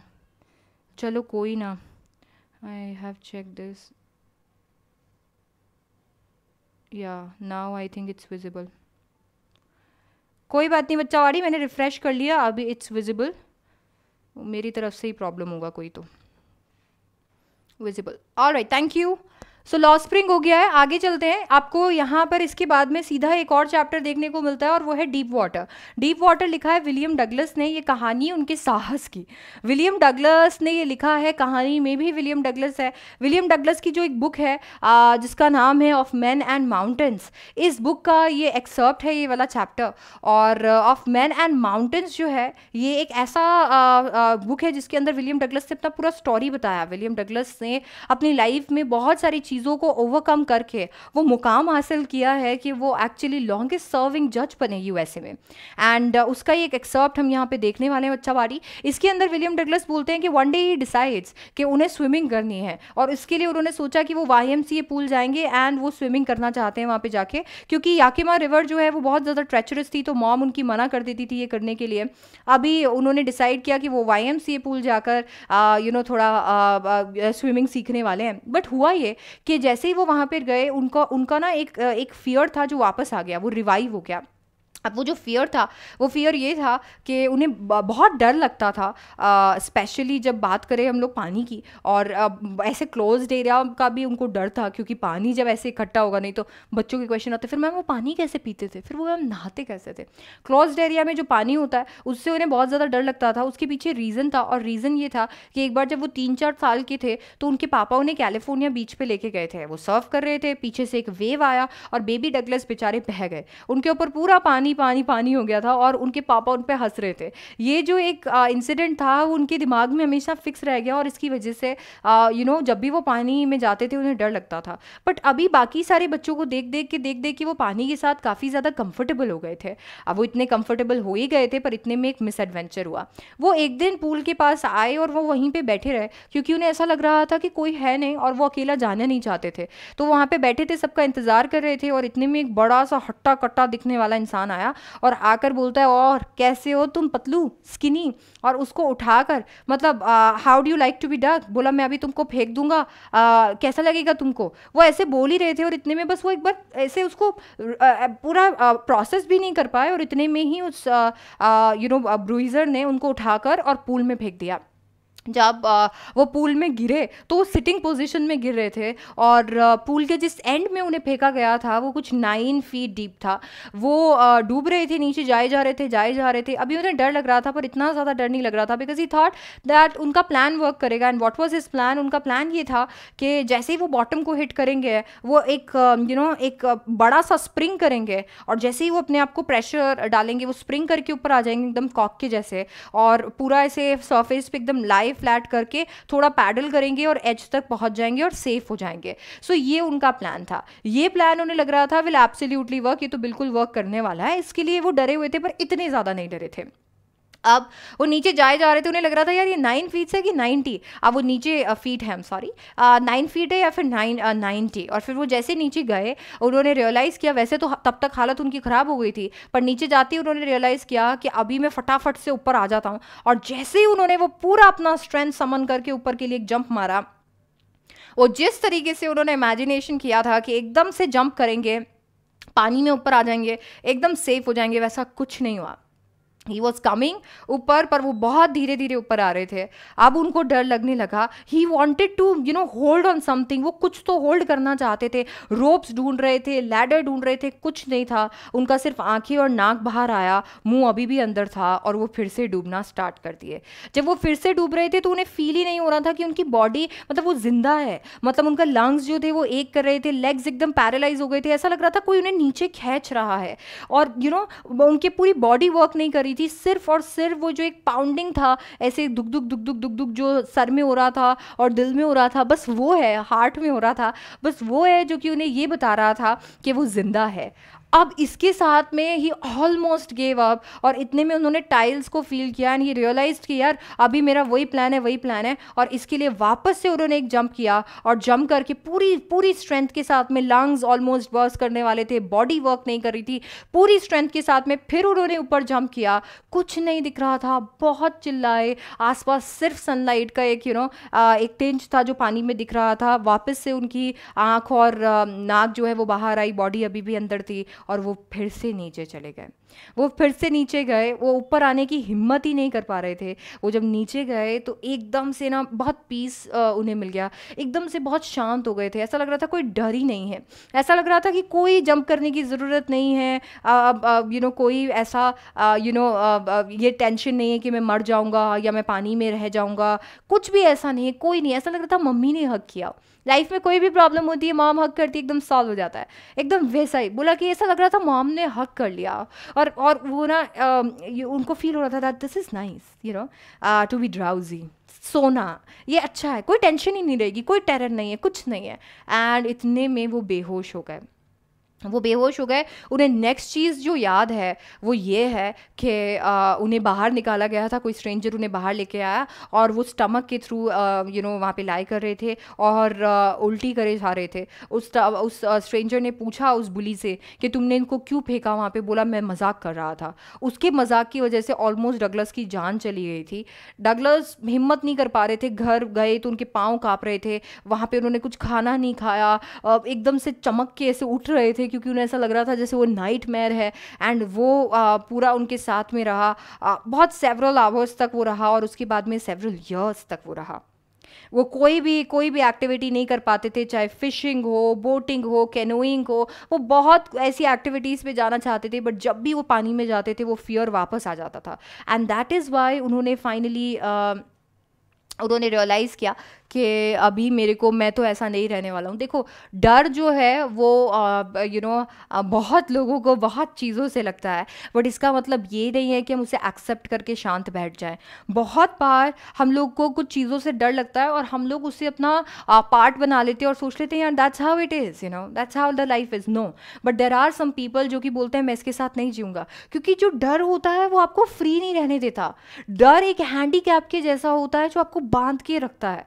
और वो डर अभी you uh, know you know, उस डर के साथ डगलस नहीं जीना चाहते थे। And that is why Douglas decided कि अभी मुझे you know I have to do something about it and in October उन्होंने एक इंस्ट्रक्टर को रखा। दी इंस्ट्रक्टर वॉज़ डेफिनेटली बहुत ही ज़्यादा अच्छा था। वो समझता था उन्हें बहुत अच्छे से। और वो इंस्ट्रक्टर जो था, उन्होंने अपनी तरफ़ से पूरी कोशिश की। पहले उसको बहुत अच्छा फेमिलियर करने के लिए पानी से उनके वेस्ट पे एक बेल्ट बांधा। उस बेल्ट से एक रोप जो है वो लगाया और वो रोप एक पुली से जाता था और उस पुली रोप का दूसरा एंड उनके हाथ में था। इंस्ट्रक्टर उसे पुल करते थे तो डगलस ऊपर आ जाते थे, वो उसे छोड़ देते थे तो डगलस पानी में चले जाते थे। एंड दैट्स हाउ उन्होंने उसे फेमिलियर करने का सोचा। आफ्टर वो उसके साथ थोड़ा फेमिलियर हो गया था, उन्हें थोड़ा यू नो मूव करना सिखाया पानी के अंदर इनहेल एक्सेल करना सिखाया। हंड्रेड्स ऑफ़ टाइम उन्होंने ये एक्सरसाइजेस की थी। आ, एक बार होल्ड करके उन्हें पैडल करना सिखाया। पीस बाय पीस वो एक एक एक एक पीस को मास्टर करते गए और उन्होंने उसे स्विमर बना दिया। अप्रैल में इंस्ट्रक्टर ने बोला जा सिमरन जा जी ले अपनी ज़िंदगी। अप्रैल में उन्होंने बोला डगलस अब तुम एकदम रेडी हो तुम्हें स्विमिंग आ गई है तुम आराम से स्विमिंग कर सकते हो तुम सारे स्ट्रोक्स मार सकते हो एकदम मस्त एकदम स्विमर बन गए हो तुम। इंस्ट्रक्टर का काम हो गया था, पर डगलस के अंदर अभी भी वो फियर था। डगलस को लग रहा था वॉट इफ़ ये तो इंस्ट्रक्टर था मेरे साथ में, इसके लिए मैं नहीं डूबा। वॉट इफ़ ये इंस्ट्रक्टर नहीं हो और मैं डूब जाऊँ? इसके लिए डगलस अपने आप को हर तरीके के लेक में हर तरीके की वाटर बॉडी के अंदर टेस्ट कर रहे थे। जब वो एक बार लेक के बीचों बीच गए तब उन्हें वो डर लगा। उन्हें कहीं ना कहीं फील हुआ कि हाँ आ, वो डर अभी भी है और बीचों बीच एकदम से उनके पाँव जो थे वो पैरालाइज हो गए थे। बट देन उन्होंने टेरर से बात की और उन्होंने टेरर को बोला कि अरे क्या? मेरे को डरा रहे हो क्या? हाँ ये लो, ये तुम्हारे लिए। और एकदम मस्त पैडल करके वहाँ से चले गए। फाइनली जुलाई में उन्होंने रियलाइज़ किया that yes he has learn this but उसके बावजूद भी वो एक आध जगह और चेक करना चाहते थे। तो गए वो पीक पे गए और वहाँ पर उन्होंने मस्त डाइव किया। और वहाँ जाकर उन्हें रियलाइज़ हो गया, अभी वो पूरा एक कोस से दूसरे कोस तक जाकर आए और उन्हें रियलाइज़ हो गया कि वो एक अच्छे स्विमर बन गए हैं और उन्हें अब किसी चीज़ से डर लगने की ज़रूरत नहीं है। वहीं पर पीक पर बैठ के मस्त एकदम यू एकदम मस्त चिल्लाया कि अभी मैं एकदम जीत के आऊँ। ये इंसिडेंट जो था, वो डगलस की लाइफ में बहुत इंपॉर्टेंट था। डगलस कहते हैं, ये वही समझ सकता है जिस इंसान ने इसको फील किया हो। ये टेरर और मतलब ये इंसिडेंट जैसा था, ये जो डर ये प्रोड्यूस करता है और इसे ओवरकम करने की खुशी केवल वही इंसान समझ सकता है जो इससे गो थ्रू किया हो। क्योंकि आफ्टर ऑल हमें डर तो डर से लगता है। डगलस के जो फ्रेंड थे प्रेसिडेंट रूजवेल्ट उन्होंने बोला all we have to fear is fear it हमें अगर किसी चीज़ से डरना है तो वो डर से डरना है, और उसी को हराना है। और बोला, मैंने हराया। मैंने दोनों चीज़ें एक्सप्रेस यू नो एक्सपीरियंस की थी। मैंने डेथ भी एक्सपीरियंस किया था, और वो डेथ कैसा फियर प्रोड्यूस कर सकता है? मैंने वो भी एक्सपीरियंस किया एंड कुछ भी हो, जीने की इच्छा और बढ़ गई। एट लास्ट उन्हें इस इंसिडेंट से यू नो इस पूरे स्टोरी से और जब वो सीख गए थे, एकदम एकदम रिलीव्ड फील हुआ। ऐसा लगा जैसे एक हैंडीकैप था, किसी ने बाँध के रखा था और उसने उनको खोल दिया। And he understood you know the importance of life and no doubt है इसके बाद में वो क्या मस्त यू नो जस्टिस बन के आए और उन्होंने एज अ जज यूएसए में लॉन्गेस्ट टाइम तक सर्व किया which is great so that is deep water बच्चावाड़ी सो ये चैप्टर आपके आ रहे हैं। चैप्टर में फ्लेमिंग होगा चैप्टर सारे खत्म हो गए हैं। इसके बाद में कोई भी चैप्टर आपकी नहीं आ रहा है, मैं आपको बता देती हूँ। तो आपके रैट ट्रैप इंडिगो ये सारे चैप्टर्स नहीं आ रहे हैं। तो अब हम सीधा आ जाते हैं हमारे पोअम्स पे। और my mother at sixty six आपकी पोअम है जो आ रही है my mother at sixty six Kamala Das ने लिखी है। कमला दास इस पोअम में uh, बहुत अच्छे से uh, एक इंसिडेंट uh, को बताती है और उस उस इंसिडेंट की मदद से हमें समझाती है कि लाइफ में ऐसा भी होता है और ये भी एक यू uh, नो एक पार्ट एंड पार्सल है लाइफ का। कमला दास अपने घर जा रही होती है अपने मॉम डैड के घर से and it is Friday morning का इंसिडेंट जो हमें समझा रही है। तो अपने घर से अपने uh, पेरेंट्स के घर जा रही होती है एंड जस्ट देन वो अपनी मॉम को देखती है और मॉम को देखकर वो रियलाइज़ करती है। हम लोग चाहते नहीं हैं कभी भी ये रियलाइज़ करना ना, कि हमारे मॉम डैड ओल्ड हो गए हैं। क्योंकि हम जब ऐसा सोचते हैं कि हमारे मॉम डैड ओल्ड हो गए हैं, उस मिनट पे हमें ऐसा लगता है, नहीं, ऐसा नहीं हो सकता। क्योंकि अगर लव्ड वंस की बात करें तो लव्ड वंस को खोना किसी को पसंद नहीं है। बट अगर हम मॉम की बात करते हैं तो वो तो बिल्कुल ही नहीं सहन हो सकता। वो हमारे ओरिजिनेशन है। हमारी मॉम हमारी ओरिजिनेशन है। हमारे मैनर्स हमारे एटिकेट्स हम जो हैं, हम हम जो हैं एक्चुअली फिजिकली वो सब कुछ उनकी वजह से है। एंड जब भी हम ये सोचेंगे कि you know we are going to go away from a mother वो एक ऐसा मोमेंट है जो मेरे को नहीं लगता कि कोई भी अपनी लाइफ में रियलाइज़ करना चाहता है। हम लोग अपने अपने आप को ही झूठ बोलते रहते नहीं नहीं अभी तो जवान है।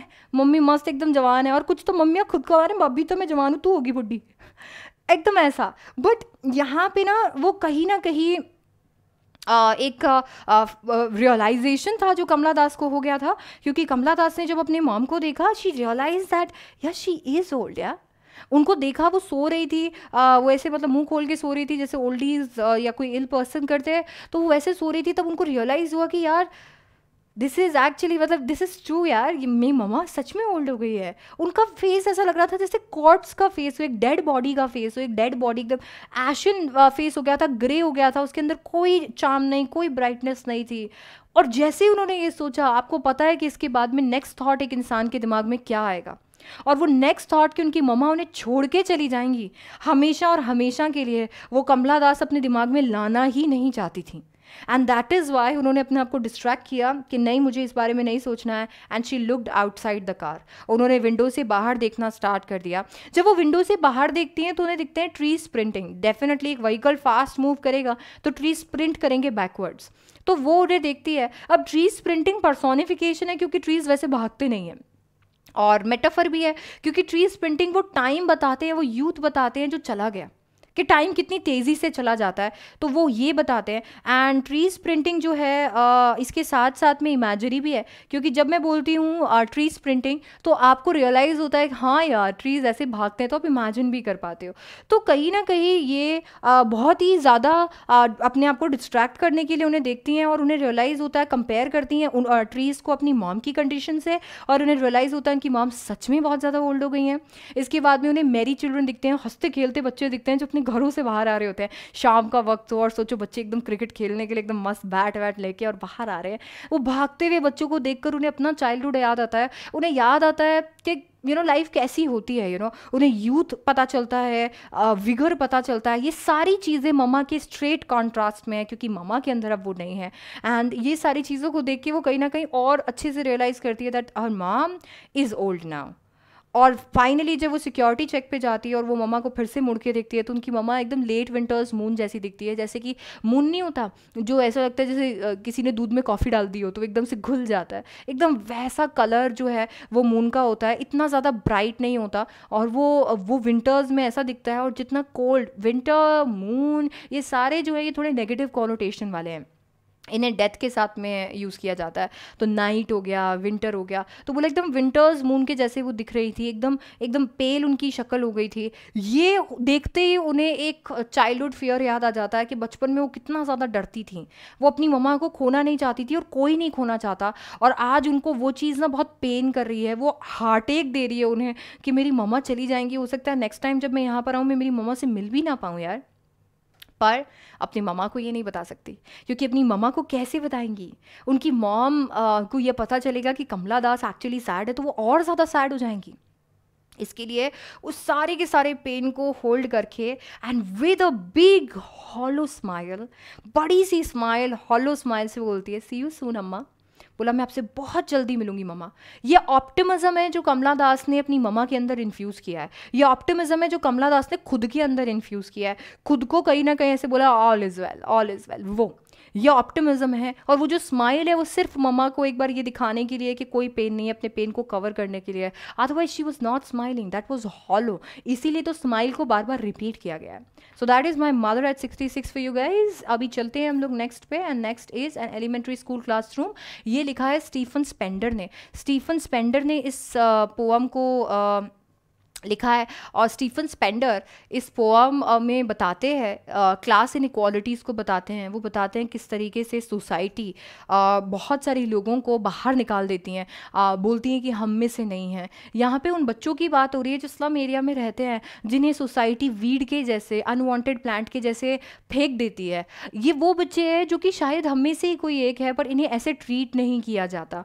आज जब पोएट इनके बारे में हमें बताते हैं तो ये और बाकी सारे बच्चों के बारे बारे में बताते हैं। वहाँ पे जैसे कि एक लड़की, जो कि एक टॉल लड़की है, जो कि झुक गई है, वो झुकी इसलिए नहीं है बिकॉज़ शी इज़ टॉल वो इसलिए झुक गई है क्योंकि लाइफ का वो बर्डन वो पावर्टी का बर्डन और वो स्लम एरिया में रहने का you know all of those things वो कहीं ना कहीं बहुत ज़्यादा है। It's actually too much to take and that is why वो झुक गई है उस बर्डन से। वो बात करते हैं एक ऐसे बच्चे की जो कि जिसकी आँखें एकदम रैट के जैसी, एकदम पेपर सीपिंग है, बहुत पतला, एकदम पेपर जैसा लग रहा है, उसकी आँखें एकदम रैट के जैसी है, जो कि खाना ढूंढ रही है, जो कि ये दिखाता है वो कितना स्टाफ्ड है। कि कितना माल न्यूट्रिस्ट है वो।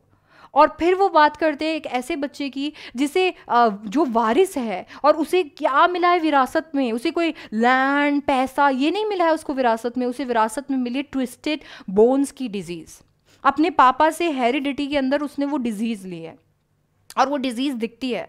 You know whenever he stand he says something is there in the room you realise that this is what he is got from his father and then there is this you know एक छोटू सा young बच्चा जो कि एक कोने में बैठा हुआ है और वो कोने में बैठ कर you know what he is doing वो बस ड्रीम कर रहा है। उसे ऐसा लग रहा है जैसे ना वो एकदम स्क्विरल की जैसे खेलेगा ट्री रूम में खेलेगा, वो इंडिपेंडेंस के सपने देख रहा है। वो सपने देख रहा है कि वो बाकी सारे लोगों के जैसे खुश रह पाएगा हैप्पी रह पाएगा और ऐसे खेल पाएगा you know so that is something जो कि वो रियलाइज़ uh, करता है। ये सारी चीज़ों को देखकर uh, uh, हम लोगों को स्टीफन स्पेंडर क्लासरूम भी दिखाते हैं कि ये बच्चों का एक बार क्लासरूम तो देखो। ये बच्चे जो है ये ऐसे क्लासरूम में रहते हैं जिनमें जो वॉल एकदम सार क्रीम जैसी हो गई है एकदम येलोइश हो गई है। क्योंकि ये पेंट कैसे कराया गया है? ये पेंट करवाया गया है डोनेशन से। और अब ये पेंट खराब हो रहा है एंड जब तक कोई दूसरा इंसान नहीं आता है डोनेट करने के लिए ये ये खराब हो जाएगा मतलब। हो गया अभी इसका। तो इसके लिए कहीं ना कहीं स्टीफन स्पेंडर बताते हैं कि इनकी लाइफ ना इसी में रहती है, इसी ब्लीक वर्ल्ड में रहती है, जहाँ पे पूरा डोनेशन ही दिखते हैं और कोई लोग तो डोनेट करके चले गए हैं शेक्सपियर के पोर्ट्रेट को, एक टायरोलीज वैली के पेंटिंग को। और साथ ही साथ एक ओपन हैंडेड मैप को। ये ये डोनेशन से इन्होंने अपने क्लासरूम में लगाया हुआ है, बट इन लोगों के लिए ये कोई मतलब नहीं रखता। ये शेक्सपियर को कैसे समझेंगे? जब ये बेसिक एजुकेशन नहीं ले पा रहे हैं तो ये लिटरेचर के किंग को कैसे समझ सकते हैं? ये वर्ल्ड मैप को देखकर कहाँ लोकेट करेंगे अपने स्लम को? इनके लिए वर्ल्ड तो खिड़की से जो बाहर उनका ब्लीक वर्ल्ड दिखता है, वही है।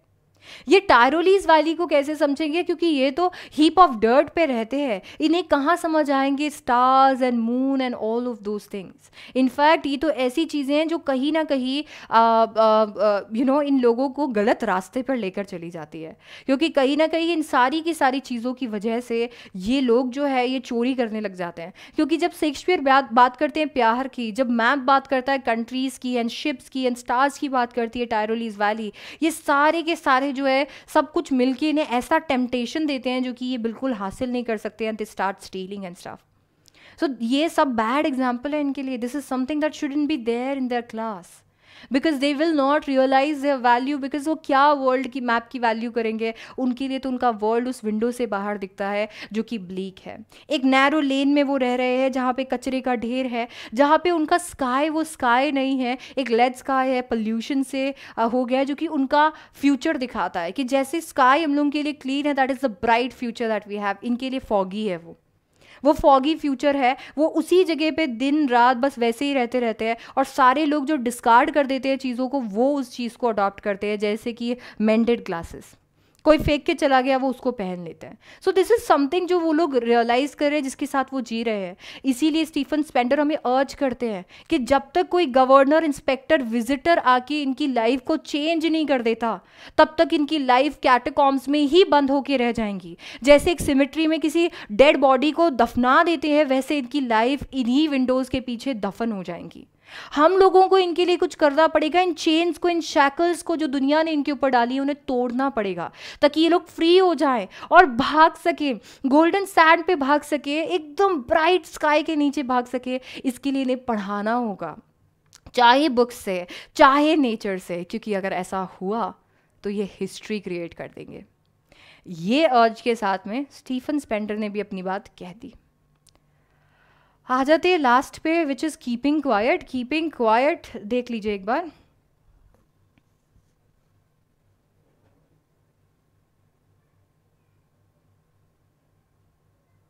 और कुछ पेड स्पैमर्स यहाँ पे आ गए मेरे को लग रहा है।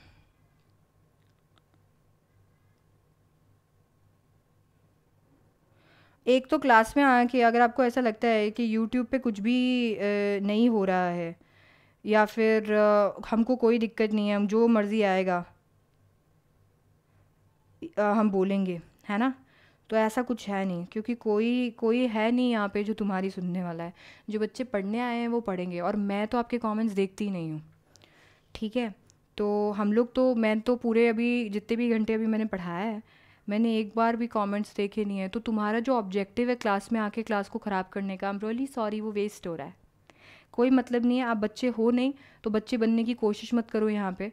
मुझे पता है कि आप लोग का क्या काम है और आप क्या कर रहे हो अन अकेडमी के चैनल्स पे आके तो यहाँ पे आने का कोई ज़रूरत ही नहीं है आपको, क्योंकि हम में से कोई नहीं देखेगा आपके कमेंट्स को। हमारे बच्चे यहाँ पर है और ये एकदम आराम से पढ़ रहे हैं, ये सारे एसडीसीएन आराम से पढ़ रहे हैं और बाकी सारे बच्चे रिकॉर्डिंग में देखेंगे। तो आपकी हेटरेड बच्चों को कुछ कहना, ये सब अपने पास रखो, क्योंकि यहाँ पर आके ये कुछ नहीं दिख रहा, ये सिर्फ़ ये दिख रहा है कि आप कैसे बैकग्राउंड से आए हो।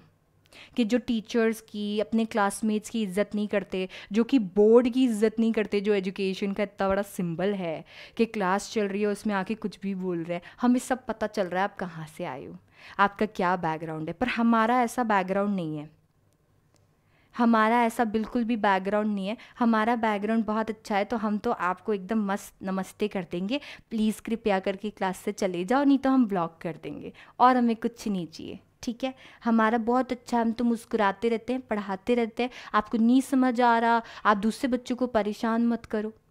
बिल्कुल भी परेशान करने की ज़रूरत नहीं है है ना? क्योंकि ये आपके बैकग्राउंड को दिखाता है। आप जो यहाँ कर रहे हो, आपकी मॉम डैड को नहीं पता है ना? तो मत करो ऐसा, ठीक है?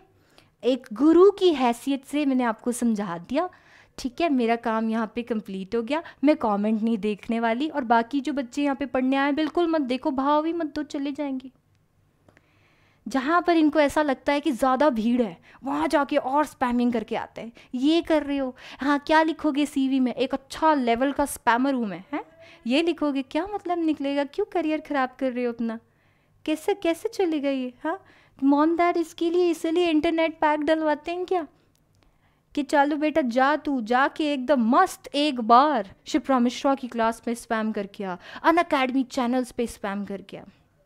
क्या कर रहे हो बच्चों? अभी ऐसी हालत भी नहीं है अपनी। आराम से पढ़ाई करो टर्म वन सामने आ रहे हैं। और अगर बच्चे हो तो और बाकी अगर तुम पेड स्पैमर्स हो तो उससे हमें कोई फ़र्क नहीं पड़ता। करो अपना जॉब आप अपना जॉब करो, हम हमारा जॉब करेंगे। और हमारा जॉब यही था कि आपको एक बार प्यार से समझा दें। ठीक है? तो मेरे बच्चों को कुछ बोलने की ज़रूरत नहीं है क्लास में आके। बच्चों को तो बिल्कुल कुछ बोलना ही नहीं है। और अगर आप मुझे कुछ बोलते हो तो वो आपके लिए बताता है कि आप कितना सम्मान करते हो किसी तो टीचर का। तो इसके लिए मेरे को तो बिल्कुल ही फ़र्क नहीं पड़ता। और बच्चों को कुछ मैं बोलने नहीं दूँगी। ठीक है? तो इसके लिए मेरे प्यारे बच्चों को यहाँ पे पढ़ने दो। ये सारे के सारे बच्चे यहाँ पे पढ़ने आए हैं। टर्म वन के एग्ज़ाम्स हैं और तुम निकल लो। हाँ by keeping quiet Pablo Neruda Pablo Neruda ने ये पोम लिखी है। हाँ सो so, अभी यहाँ पे आ, ये पैब्लो नेरूदा की हमारी पोअम है। अच्छा पैब्लो नेरूदा ने क्या किया है? आ, इन्होंने यहाँ पे इंट्रोस्पेक्शन जो है इंट्रोस्पेक्शन को यहाँ पे रिफ्लेक्ट करने की कोशिश की है। इन्होंने क्या करने का कोशिश किया है? ये बता रहे हैं यार हम लोग जब कुछ भी एक्टिविटी कर रहे होते हैं हमें ये भी रियलाइज़ नहीं होता है।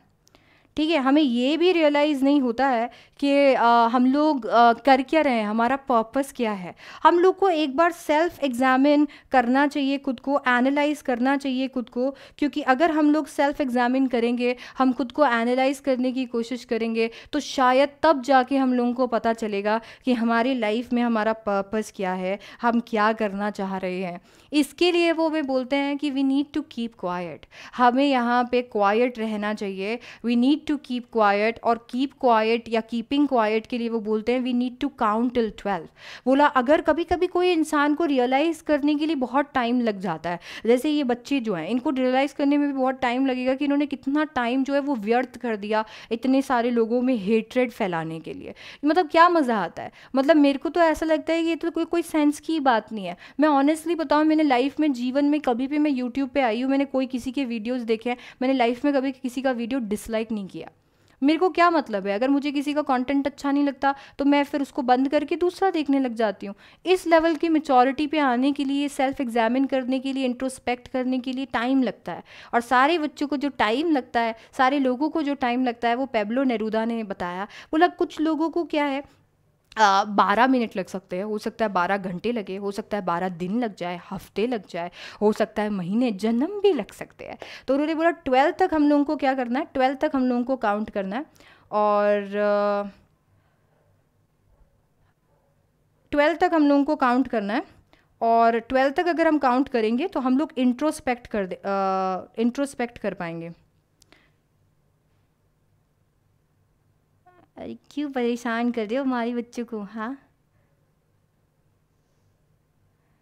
हाँ जी तो आ, हम लोग इंट्रोस्पेक्ट कर पाएँगे और इंट्रोस्पेक्शन को ही यहाँ पे ये प्रमोट करते हैं कि अगर हम लोग ट्वेल्थ तक काउंट करेंगे तो हम लोग को पता चलेगा कि हम लोग क्या कर रहे हैं और लाइफ में ये चीज़ करना एक बहुत ही नेक्स्ट लेवल यू नो एक बहुत ही नेक्स्ट लेवल स्ट्रेंजनेस लेकर आएगा। इस मोमेंट में हम लोग सारे एक साथ होंगे क्योंकि इस मोमेंट में हम सब साथ होंगे कोई कुछ नहीं कर रहा होगा कोई कुछ नहीं बोल रहा होगा कोई कोई एक्टिविटी नहीं कर रहा होगा होगा तो इस मोमेंट में हम लोग सब साथ होंगे और क्योंकि हम लोग सब साथ होने वाले हैं, हम लोग रियलाइज़ करने वाले हैं कि एक्चुअली ये सब कुछ हमने बनाया है। ये कितना एग्जॉटिक मोमेंट होगा, कितना स्ट्रेंज होगा। कोई लिंग्विस्टिक शॉवनिज्म नहीं होगा कि तुम ये भाषा बोलते हो, तुम ये भाषा बोलते हो, तुम ये भाषा बोलते हो। कोई लिंग्विस्टिक शॉवनिज्म नहीं होगा, कोई डिस्ट्रक्शन नहीं होगा किसी का। हम लोग रुकेंगे। हम रियलाइज़ करेंगे कि हम क्या कर रहे हैं। एक एक फिशरमैन रियलाइज़ करेगा कि उसे वेल को हर्ट नहीं करना चाहिए। एक खुद ऑर्गेनिज्म होके अर्थ का पार्ट होके, किसी और को उसे हर्ट नहीं करना चाहिए, जो कि बताता है कि हम कैसे नेचर नेचर को हर्ट करते हैं, कैसे दूसरे ऑर्गेनिजम्स को हर्ट करते हैं, और कहीं ना कहीं एक इंसान जो सॉल्ट कलेक्ट कर रहा होगा, वो अपने हाथ को देखेगा और वो सोचेगा, यार, मैंने अपने आप को कितना हर्ट कर दिया। ये लाइवलीहुड कमाने के लिए, इस लाइफ में लाइफ के साथ कोपअप करने के लिए अपने आप को कितना हर्ट मैं कर चुका हूँ। वो भी अपने हाथों को देखेगा। आप जब इंट्रोस्पेक्ट करते हो तो आप रियलाइज़ करते हो कि आपने कितना कुछ कर दिया। दूसरों के साथ में कितना डिस्ट्रॉय कर दिया उनको और कितना खुद को कर लिया। शायद वो लोग जो वॉर करते हैं, चाहे गैस वॉर फायर वॉर करें चाहे इन्वायरमेंट के अगेंस्ट वॉर करे, वो भी रुकेंगे। रियलाइज़ करेंगे कि क्यों लड़ रहा हूँ यार मैं किसी से? मैं क्यों इन्वायरमेंट को ख़राब कर रहा हूँ? वो रियलाइज़ करेंगे और अपने कपड़े बदलेंगे। ये कपड़े बदलने का मतलब है आइडियोलॉजी चेंज करेंगे। वो अपने सोचने का तरीका बदलेंगे। वो सोचने का तरीका चेंज कर देंगे। अब उन्हें ये सारे लोग एक ही लगेंगे। हम सब ह्यूमंस हैं और इसके लिए ह्यूमैनिटी जो है, वो उनके अंदर इन्फ्यूज़ होगी। इन्फ्यूज़ होगा ब्रदरहुड भाईचारा इन्फ्यूज़ होगा और शायद वो रियलाइज़ करेंगे कि इन वॉर से क्या फ़ायदा। अगर कोई जीत भी जाएगा तो पीछे कोई उसकी विक्ट्री को भी सेलिब्रेट करने के लिए नहीं बचेगा। कोई एक इंसान नहीं बचेगा जो पीछे उनकी विक्ट्री को भी सेलिब्रेट कर दे। इसके लिए अब वो फाइनली रियलाइज़ करेंगे कि इसका कोई फ़ायदा नहीं है और वो ब्रादरहुड के साथ में आगे चलेंगे। पेब्लो नेरूदा कहते हैं, मैं जो बता रहा हूँ, उसे तुम यू नो डेथ मत मानो। ये इससे मैं पैसिविटी नहीं लेकर आना चाह रहा हूँ। मेरा तो कोई लेना देना ही नहीं है डेथ से। मैं तो तुम्हें सिर्फ़ ये बता रहा हूँ कि डिस्ट्रक्शन नहीं करना है। क्योंकि कभी कभी हम इतने सिंगल माइंडेड हो जाते हैं कि हमें लगता है कि नहीं, हमें ये करना है, नहीं, हमें यही करना है। और इसकी वजह से हम लोग अपने आप को सैडनेस से घेर लेते हैं क्योंकि हमें लगता है हमने ये अचीव नहीं किया, हमने ये नहीं किया। और बोला, अगर हम इंट्रोस्पेक्ट करेंगे तो अपने आप को को डेथ से डराना बंद करेंगे और वो कर पाएँगे जो हमें करना है, दूसरों को डिस्ट्रक्ट नहीं। और ये चीज़ जो है वो पेब्लो नेरुदा बोलते हैं कि हमें सीखनी चाहिए अर्थ से, जो कि दूर से ऐसा लगता है कि लाइव अलाइव ही नहीं है। दूर से अर्थ लगती है जैसे कि वो अलाइव ही नहीं है, एकदम स्टिल कोई डिस्ट्रक्शन सिंबल्स नहीं है उसके अंदर। पर पास आके देखो तो उसमें लाइफ है। बस वैसा ही है। वैसे ही कभी कभी हमारे होप्स और एस्पिरेशन हमें रखने चाहिए। ये दो कॉन्टेक्स्ट में उन्होंने बताया। बोला, एक कॉन्टेक्स्ट में कभी कभी हमें लगता है कि ये पॉसिबल नहीं है। बट अगर आप ट्राई करोगे तो इट इज़ पॉसिबल और कभी कभी हमें लगता है कि हमारी एग्जिस्टेंस के लिए हमें फाइट करना पड़ेगा। But with introspection according to Pablo Neruda उसकी ज़रूरत ही नहीं पड़ेगी। एंड इसके साथ में वो बोलते हैं कि मैं चला जाता हूँ यहाँ पे। अभी आप करो ट्वेल्थ तक काउंट और इंट्रोस्पेक्ट करो। That is Pablo Neruda introspect बता रहे हैं वो। इंट्रोस्पेक्शन हाँ जी। तो इंट्रोस्पेक्शन के बारे में वो यहाँ पे बता रहे हैं। बता रहे हैं किस तरीके से हम इंट्रोस्पेक्ट कर सकते हैं और उससे ज़्यादा से ज़्यादा ज़्यादा से ज़्यादा पर्पस सीखिए और दूसरे लोगों को भी बचा सकते हैं। सो दैट इज़ समथिंग जो उन्होंने हमें बताया है। अरे अरे, अभी अभी तुमको समझाया है भाई। तुम ऐसा क्यों कर रहे हो? Metaphor and metaphor and simile बेटा मेटाफर में हम लोग क्या करते हैं? मेटाफर के अंदर हम लोग कंपैरिजन करते हैं डायरेक्ट कंपैरिजन करने की कोशिश करते हैं, और सिमिली के अंदर हम लाइक like और एज के साथ में कंपैरिजन करते हैं। तो मेटाफर के अंदर हम डायरेक्ट कंपैरिजन करेंगे, और सिमिली के अंदर हम लाइक like और एज के साथ में कंपैरिजन करते हैं। अभी कितने चाप तो बाकी है। ओहो, अभी से थक गए क्या? मैम तो इतनी देर से बोल रही है। हाँ अभी दो चैप्टर और बचे हैं। फ्लेमिंगो इसके साथ में कंप्लीट हो गई सिर्फ़ विस्तास का द थर्ड लेवल और एनिमी बचा है। विस्तास का थर्ड लेवल और एनिमी बचा है। पहले एनिमी करवा देती हूँ, फिर थर्ड लेवल करवा दूँगी। What is the theme of this poem इस पोम का थीम है इंट्रोस्पेक्शन नो इस पोम का थीम इंट्रोस्पेक्शन है। दैट मीन्स हम लोगों को इंट्रोस्पेक्ट करने के लिए बोल रहा है ये पोम सो so, इसके अंदर इंट्रोस्पेक्शन को ही हम लोगों को ध्यान में भी रखना है। हाँ जी। सो इंट्रोस्पेक्शन डिस्ट्रक्शन को रोकना इसी चीज़ के बारे में पोम बात कर रहा है। लेट हो गया। कोई बात नहीं बेटा, हम लोग यहाँ पे अभी एनिमी स्टार्ट ही कर रहे हैं और मेजरली मेरे को लगता है एनिमी इज़ अ चैप्टर जिसके बारे में आप लोग पढ़ना चाहते हो सीखना चाहते हो तो एक बार एनिमी हम लोग फटाफट से स्टार्ट कर देते हैं। बूबू तो चला गया है। इसी बात पे हम भी फटाफट से फटाफट से स्टार्ट कर लेते हैं। चलो। फ्लेमिंग को छूट गई। हाँ फ्लेमिंग को तो छूट गई। कोई बात नहीं। ऐसा हो जाता है। ग्रामर नहीं है बेटा आपके लिए। ग्रामर नहीं आएगी। और खुशबू हमारे the tiger the tiger king और journey of the end of the earth भी नहीं है टर्म वन में। लिटरेचर में टाइगर और journey to the end of the earth am sorry ये नहीं है। बाकी सारे बस दो ही चैप्टर है, एक तो है थर्ड लेवल और एक है एनिमी बूबू को दिखा दो एक बार। अरे, बूबू गया। बेटा ग्रामर नहीं है हम लोगों के क्लास ट्वेल्थ में। अगर आप राइटिंग पोर्शन की बात करो तो राइटिंग पोर्शन भी आपके लिए लेकर आएँगे। ठीक है? करवा देंगे, बिल्कुल नीलम बिल्कुल लेकर आ जाएँगे। मैं कोशिश करूँगी अब और ज़्यादा रेगुलर होने की। यूट्यूब के अंदर क्या होता है कि मूड ख़राब करने वाले चार पाँच और आ जाते हैं। अन अकाडमी हमारा है तो हमारे हाथ में आप लोगों का एक्सपीरियंस अच्छा बनाने के लिए पार होता है। यूट्यूब अपना नहीं है तो इसके लिए वो नहीं होता। तो अभी हमको बुरा लगता है कि आप लोगों का एक्सपीरियंस कहीं ख़राब ना हो जाए। इसके लिए थोड़ा कम लेती हूँ मैं यूट्यूब पे क्लासेस अवॉइड करती हूँ ज़्यादा से ज़्यादा। बट uh, आप लोगों तक पहुँचाने के लिए और आप लोग को सबको uh, ये हेल्प करे इसके लिए आ जाना पड़ता है। कर दिए कर दिए। सारे जितने बच्चे आते हैं मेरे को अब पूरा पढ़ाते टाइम तो ध्यान नहीं रख सकती। मुझे बुरा लगता है कि आप लोगों को ये सब एक्सपीरियंस करना पड़ रहा है। आप लोग चैट ऑफ़ करके दैट इज़ नीचे करके और मस्त पढ़ लिया करो। है ना? तो चलो इसी बात पे शुरू करते हैं ना? All right the enemy the enemy किसने लिखा है बच्चा वाड़ी पॉल एस बक ने लिखा है। पॉल एस बक ने शानदार चैप्टर को लिखा है। तो चलो। इंग्लिश का एग्ज़ाम था, कैसा गया? हाँ जी, अनामिका हाँ। मे, मेरे को पता है, कल किसी ने ऐसा डाउट पूछा था, हमने कहीं ना कहीं उसको क्लियर भी किया था। हाय आशी बहुत बढ़िया है, बहुत बढ़िया है, केशव। चलो तो बच्चा वारी पर्ल एस बक ने इसको लिखा है। इस चैप्टर के अंदर बताया गया है और ये चैप्टर एक्चुअली कहाँ का है? ये चैप्टर है वर्ल्ड वॉर के टाइम का और इस चैप्टर के अंदर आ, हमारे जो पर्ल एस बक हैं उन्होंने बताया है जापान और अमेरिका की राइवलरी के बारे में। तो जापान जो है जापान और अमेरिका के बीच में पर्ल हार्बर वाला पूरा आ, केस चल रहा था और इस दौरान क्या होता है हम लोगों को ये स्टोरी पता चलती है। इस स्टोरी के अंदर आ, बात है सदाव की। जो कि जब छोटे थे तो उनके पापा का सिर्फ़ एक ही ड्रीम था कि वो बड़े होकर एक बहुत अच्छे सर्जन बने। And that is why you know Sadao को ट्वेंटी uh, टू की एज में जब वो ट्वेंटी टू ईयर्स ओल्ड थे तो फिर उन्हें अमेरिका भेज दिया गया था। आठ साल के बाद में वो वापस आए। जब वो आठ साल के बाद में वापस आए तो उन्होंने अपने पापा को बहुत प्राउड फील कराया क्योंकि ना तो सिर्फ़ वो एक सर्जन बने थे इसके साथ साथ में वो एक बहुत अच्छे साइंटिस्ट भी बने थे। वहाँ पे प्रोफेसर हार्ली के घर पे वो uh, हाना से मिलते हैं। हाना को देखते हुए उन्हें बहुत अच्छी लगती है हाना पर उन्हें पता है कि उनको अपने पापा को uh, नीचा नहीं दिखाना है और उनके पापा बिल्कुल एक्सेप्ट एक्सेप्ट नहीं करते। अगर कोई भी ऐसी लड़की जो जापानीज़ नहीं है वो उनके घर की बहू बनती। And that is why Hana ने सदाव ने कंट्रोल किया। एंड उन्होंने रियलाइज़ किया कि अरे हाना तो जापानीज़ है।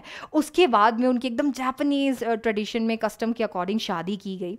आ, इसके बाद में आज सदाव आराम से अपने वारंडा में खड़े हैं। बाकी सारे जो है वो ट्रूप पे गए हैं। सदाव को ट्रूप पे इसके लिए नहीं भेजा गया क्योंकि वो जर्नल का जनरल का जर्नल जनरल का इलाज करेंगे क्योंकि जनरल ने उन्हें रख रखा है। जनरल की तबीयत इतनी अच्छी नहीं है और वो सिर्फ़ सदाव पे वर्क करते आ, भरोसा करते हैं। इसके लिए वो यहाँ है। आराम से वैरिंदा में खड़े खड़े सारी चीज़ों को याद कर रहे हैं। हाना आ गई है एंड देन हाना के साथ में वो पूरा ऐसे मस्त इंजॉय कर रहे हैं कैसे मिस्ट कवर कर रहा है पूरे हाउस को। इतने में उन्हें कोई तो आता हुआ दिखता है एक ब्लैक सा सिंबल उन्हें आता हुआ दिखता है और वो उसको देख कर उन्हें रियलाइज़ होता है कि ज़रूर ये तो कोई फिशरमैन होगा। पर ये इस साइड से क्यों आ रहा है? क्योंकि इस साइड पर तो बहुत ज़्यादा रॉक है। ज़रूर ज़रूर इसको बहुत ज़्यादा लग गई होगी इसकी वजह से। अब वो फाइनली भागते हैं नीचे जाकर देखते हैं उसको क्योंकि वो इंसान मुँह के बल गिर चुका होता है। तो पता चलता है कि हाँ सच में वो इंजर्ड है। साइड में पूरा जो आ, सैंड होता है वो रेड हो जाता है। तो उसको देखते हैं उसे टर्न करते हैं तो उन्हें पता चलता है कि ये तो एक वाइट मैन है। इसको देखते ही उनको रियलाइज़ होता है कि नहीं नहीं अब हम क्या करेंगे? आ, थोड़ी ही देर के अंदर वो ये भी फिगर आउट कर लेते हैं कि वो एक अमेरिकन है क्योंकि उसके कैप के ऊपर यूएस नेवी लिखा होता है। और क्योंकि उसे चोट लगी होती है पीछे तो ये भी रियलाइज़ हो जाता है कि इसे गन शॉट किया गया है। दैट मीन्स इसे शूट किया गया था। ज़रूर वो भाग के गया होगा और पीछे से किसी ने इसे शूट किया और ये ये बहता बहता यहाँ आ गया है। अब वो लोग ये डिसीज़न पे नहीं आ पाते कि आखिरकार इसके साथ करना क्या है। दोनों सोचते हैं कि चलो ऐसा करते हैं, इसको उठा के फेंक देते हैं वापस से यू नो सी में। पर जैसे वो ये सोचते हैं उसके बाद में उन्हें रियलाइज़ होता है कि नहीं वो दोनों ही ये चीज़ करने के केपेबल नहीं हैं।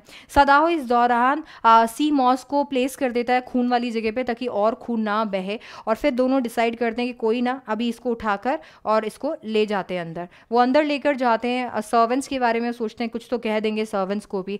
वो सदाव के पापा के रूम के अंदर आ, उस पीओडब्ल्यू को रखते हैं। जो कि आयरॉनिक है, क्योंकि सदाओ के पापा एकदम कट्टर जापानीज़ थे। तो वहाँ पर उसको प्लेस किया जाता है। अब वहाँ पर वो देखते हैं कि वो तो बहुत गंदा हो गया, उसे पहले साफ़ करने की ज़रूरत है। इसके लिए उन्हें सर्वेंट्स को बताना ही पड़ेगा।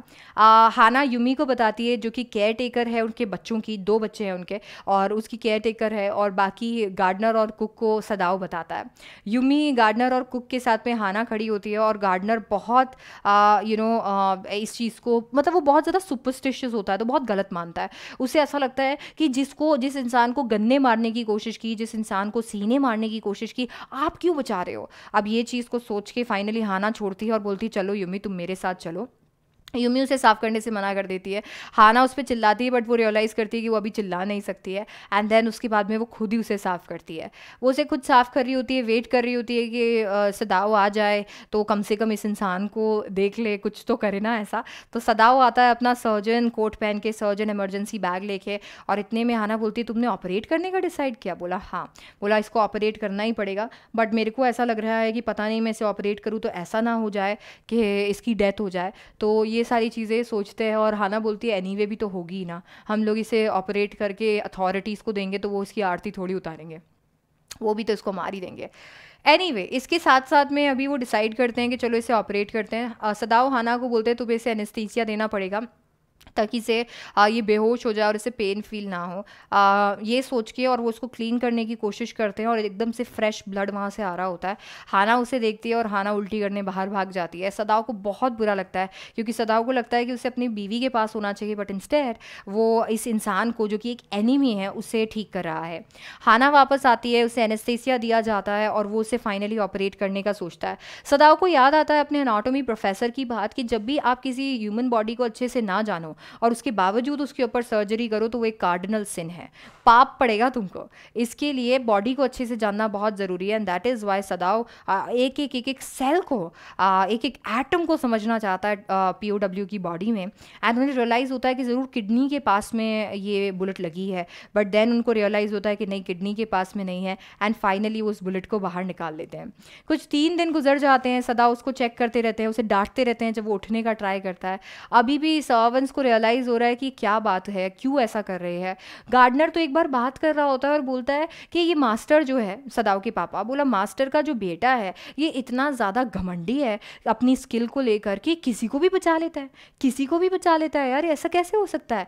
तो इसके लिए ये हाना को जानबूझ के वो बताते हैं यू नो हाना को जानबूझ के आ, ये सुनाते हैं एंड हाना उस पर इतना ध्यान नहीं देती। सदाओ हाउ एवर थोड़ा सा एक लेटर लिखता है पुलिस अथॉरिटीज़ को और वो यू नो डाल देता है अपने लॉकर में बट वो अभी उसे पोस्ट नहीं करता। सेवन डेज़ हो जाते हैं और सेवन डेज़ तक अभी भी यहीं पे ये प्रिजनर और सदाओ उसका ध्यान रखे जा रहा है खिलाए पिलाए जा रहे हैं उसे। सर्वेंट्स को गुस्सा आता है। सर्वेंट्स सोचते हैं यार आ, मतलब आप इसको इतना ठीक कर दोगे क्या कि उठ के बस अब बुलेट ही मार दें हमें? इसके लिए सर्वेंट्स वहाँ से चले जाते हैं बोलते हैं हम तो ट्रेटर नहीं बन सकते और वो वहाँ से निकल लेते हैं। एंड uh, उसी दिन क्या होता है अभी हाना उन्हें जाने भी देती है। यूमी बोलती है कि बच्चों को मेरी ज़रूरत हो तो प्लीज़ मेरे लिए आ, बुलावा भेज देना ना आई बी बैक बट ऐसा कुछ होता नहीं है। आ, हाना बोलती मैं तो बिल्कुल नहीं बुलाऊँगी। उसी दिन क्या होता है एक मैसेंजर आता है सदाव के लिए ऑफिशियल मैसेज लेके। और वो ऑफिशियल मैसेज जो होता है वो ये है आ, वो आ, बहुत ज़्यादा डर जाती है हाना उसके पीछे पीछे जाती है तो वो जाकर मैसेज देता है बोलता है जनरल की तबीयत बहुत ज़्यादा ख़राब हो गई है आपको चलना पड़ेगा आपको ऑपरेट करना पड़ेगा। Hana was like hush thank God और उसके बाद में सदा उसे प्रॉमिस करता है बोलता है मैं कुछ ना कुछ ज़रूर कर लूँगा। वो जनरल के पास जाता है उसे सारी की सारी बात बता देता है पर उसको पता होता है वो जानबूझ के जनरल को ये सारी बात बताता है क्योंकि उसे पता है कि जनरल उसे कुछ नहीं होने देगा क्योंकि जनरल उसे इसलिए कुछ नहीं होने देगा क्योंकि जनरल के लिए सदाओ इनडिस्पेंसिबल है। फिर भी वो नाटक करता है, बोलता है, अरे मालिक, आप मुझे जेल भिजवा दो, कोई दिक्कत नहीं है। बोला, अरे नहीं सदा, तुम मेरे लिए इंडिस्पेंसिबल और तुम कह रहे हो मुझे एक और ऐसा अटैक आ सकता है और वो लास्ट अटैक होगा। मैं तुम्हें कुछ नहीं होने दे सकता सदाओ और अगर मैं किसी और डॉक्टर को बुलाऊँगा तो वो तो मुझे मार के भी ऑपरेशन को सक्सेसफुल बोलेंगे। मैं तुम्हें कुछ नहीं होने दे सकता। मेरे पास एक आइडिया है, मैं मेरे भाड़े के गुंडे भेजूँगा। मैं मेरे भाड़े के गुंडे भेजूँगा। दैट इज़ प्राइवेट असैसेंस और वो प्राइवेट असैसेंस वहाँ पर आएँगे, उन्हें इनवर्ड ब्लीडिंग की ट्रिक आती है। वो आके और जो पी ओ डब्ल्यू है that is prisoner of war है, उसे मार देंगे और तुम्हें पता भी नहीं चलेगा। और कोई ना, मैं लाश को भी ठिकाने लगवा दूँगा। सदाओ एक बार के लिए, जो कि एक डॉक्टर है, उसके लिए बहुत बड़ी बात होती है then Sadao thinks about it for a minute but then he thinks about Hana and that is why is like okay आप ऐसा करवा दीजिए प्लीज़ अब इसके बाद में फाइनली सदाओ ये चीज़ बोलते हैं और वो घर जाते हैं। वो डिसाइड करते हैं कि वो हाना को कुछ नहीं बताएँगे क्योंकि हाना डर जाएगी। उस रात वो सो नहीं पाते। उन्हें लग रहा होता है अभी असैसन आएँगे, अभी असैसन आएँगे। कभी थोड़ी थोड़ी आवाज़ आती है, पत्तियों के गिरने की आवाज़ आती है तो वो झक जाते हैं। उन्हें ऐसा लगता है कि आज तो अभी तो इसको मार ही दिया होगा। नेक्स्ट डे वो उठे, उन्हें दिखता है कि टॉम अभी भी वहीं पर पी अभी भी वहीं पर फिर वो सोते हैं। वो उस दिन तो इतनी ज़्यादा आवाज़ हो रही होती है कि हाना भी उठ जाती है। और हाना बोलती है, अरे तुम मुझे जाने क्यों नहीं दे रहे हो? बच्चा उठ गया है, उसको मेरे को सुलाना है। पर सदा उसे जाने नहीं देते हैं क्योंकि उन्हें लगता है कि कहीं बाहर असैसन्स तो नहीं है। ऐसे करके तीन दिन निकल जाते हैं। अभी सदाव सोचता है, यार, मुझे कुछ ना कुछ तो करना पड़ेगा। अभी कुछ ना कुछ तो मुझे करना पड़ेगा। And that is why Sadao उस पीओडब्ल्यू के रूम में जाते हैं। और वो पीओडब्ल्यू एकदम मस्त, एकदम स्ट्रेचिंग कर रहा होता है और वो बोलता है, अरे, एकदम मस्त फिट लग रहा हूँ मैं। इतने में सदाव बोलते हैं, तुम इतने फिट हो कि अगर मैं मेरी बोट तुम्हें दे दूँ और उसके अंदर तुम्हारे लिए खाना डाल दूँ और पानी की बॉटल्स दे दूँ तो तुम जो पास में एक आइलैंड है वहाँ जा सकते हो। उस आइलैंड पे कोई नहीं आता क्योंकि स्टॉम्स के टाइम में वो आइलैंड जो है वो सबमर्ज हो जाता है। अभी स्टॉम्स का टाइम नहीं है। वहाँ चले जा सकते हो क्योंकि तुम सेव हो जाओगे। पी डब्ल्यू बोलता है कि मुझे रियलाइज़ हो रहा है कि आप फिर से मेरी लाइफ बचा रहे हो। बोला देखो आ, देखो यहाँ पे तुम्हारा होना अब सबको पता है। तुम्हें यहाँ से निकलना ही पड़ेगा। सदाव उसके सर पे ब्लैक कपड़ा बांधता है, उसे जापानीज़ कपड़े पहनाता है, उसके लिए खाना लेकर आता है बॉटल लेकर आता है, अपनी प्यारी फ्लैश लाइट भी उसे दे देता है ताकि वो देख सके। सदाव के इंस्ट्रक्शंस बहुत क्लियर होते हैं। खाना ख़त्म हो जाए तो दो फ्लैशेस कर देना। अगर तुम्हें वहाँ पर कोई अभी लेने के लिए नहीं आया क्योंकि सदाओ ने उन्हें बोला होता है कि कोरियन बोट से मदद मांग लेना, कोरिया तुम्हारी हेल्प कर देगा। और कोरियन बोट की मदद से तुम वहाँ से निकल सकते हो। अगर तुम्हें कोई भी वहाँ पर लेने नहीं आया है और तुम वहाँ अकेले हो तो एक फ्लैश कर देना। पर यह तब करना जब ना तो अंधेरा और ना उजाला तक ही मैं देख पाऊँ। इसके बाद में वो ये भी बताते हैं कि अगर तुम्हें खाना खाना हो तो तुम वहाँ पे रॉ फ़िश खा सकते हो। क्योंकि अगर तुमने फ़िश को पकाया तो धुएँ से सबको पता चल जाएगा। ये सारे इंस्ट्रक्शन देकर वो उसे भेज देते हैं। अब एक दो बार तो फ्लैशेस बीच में दिखते हैं क्योंकि उन्हें ऐसा लगता है कि वो बोट तक पहुँचना पहुँचा नहीं होगा। फाइनली वो वहाँ पे फ्लैशेस उनको दिख जाते हैं और बोट गायब हो जाती है। उसके बाद में वो रियलाइज़ करते हैं कि कोई फ्लैश आया नहीं दैट मीन्स हो सकता है कि टॉम वहाँ से भाग गया है। और एक दिन ऐसे ही वो वैरेंडा में खड़े होते हैं और वो रियलाइज़ करते हैं, उनके दिमाग में ना सारे के सारे अमेरिकन आते हैं और उन्हें उन्हें बुरा लगता है, उन्हें लगता है, यार, ये अमेरिकन ने मेरे साथ कैसा ट्रीटमेंट किया था? मैं जैपनीज़ था, इसके लिए मुझे कितना बुरा ट्रीट किया इन्होंने। मैं उस इंसान को मार क्यों नहीं पाया? और इसके साथ चैप्टर ख़त्म हो जाता है। ये जो चैप्टर है ये चैप्टर मेरे को नहीं लगता कि इससे ज़्यादा फास्ट आपने कभी किया होगा और इस तरीके से। एंड आई होप कि आपको अच्छे से समझ में भी आ गया होगा। थोड़ी जो इसकी सेट uh, में कन्फ्यूज़न होता है वो मैंने क्लियर करने की कोशिश भी की है इसके through any way last chapter आपके पास में है the third level the third level the third level Jack Finney ने लिखा है। जैक फिनी जो है वो एक्चुअली बहुत ज़्यादा जाने जाते हैं अपने फैंटसीज़ के लिए और उन्होंने इस चैप्टर को लिखा है। हमारे नरेटर यहाँ पे चार्ली है। चार्ली uh, अपने एक साइकैट्रिस्ट फ्रेंड को बताते हैं कि उनको एक तीसरा लेवल देखने को मिला है। आप सोचो कि जहाँ पे ग्रैंड सेंट्रल स्टेशन पे केवल दो ही लेवल है वहाँ चार्ली को तीन लेवल देखने को मिल रहे हैं। ये तीन लेवल देखते उनके दिमाग में एक चीज़ आती है चलो साइकैट्रिस्ट के पास चला जाता हूँ क्योंकि मुझे लग रहा है मैं पागल हो गया हूँ। जब वो अपने साइकाट्रिस्ट फ्रेंड के पास जाते हैं तो साइकाट्रिस्ट फ्रेंड बोलते हैं कि तुम ना लाइफ में अनहैप्पी हो। इसके लिए तुम हेलिसिनेट कर रहे हो। उनकी वाइफ जो लुइज़ा है, वो इतने में गुस्सा हो जाती बोला अच्छा तुम अनहैप्पी हो? इतने में अब वो दोस्त है तो वो बोलता है, अरे भाभी जी, मैं ये नहीं कह रहा था। मैं ये कह रहा था, देखो यार मॉडर्न वर्ल्ड कैसा है? और वो मॉडर्न वर्ल्ड ऐसा है, इसकी वजह से कहीं ना कहीं ना, इंसान को एस्केप करने का मन करता है और कुछ नहीं।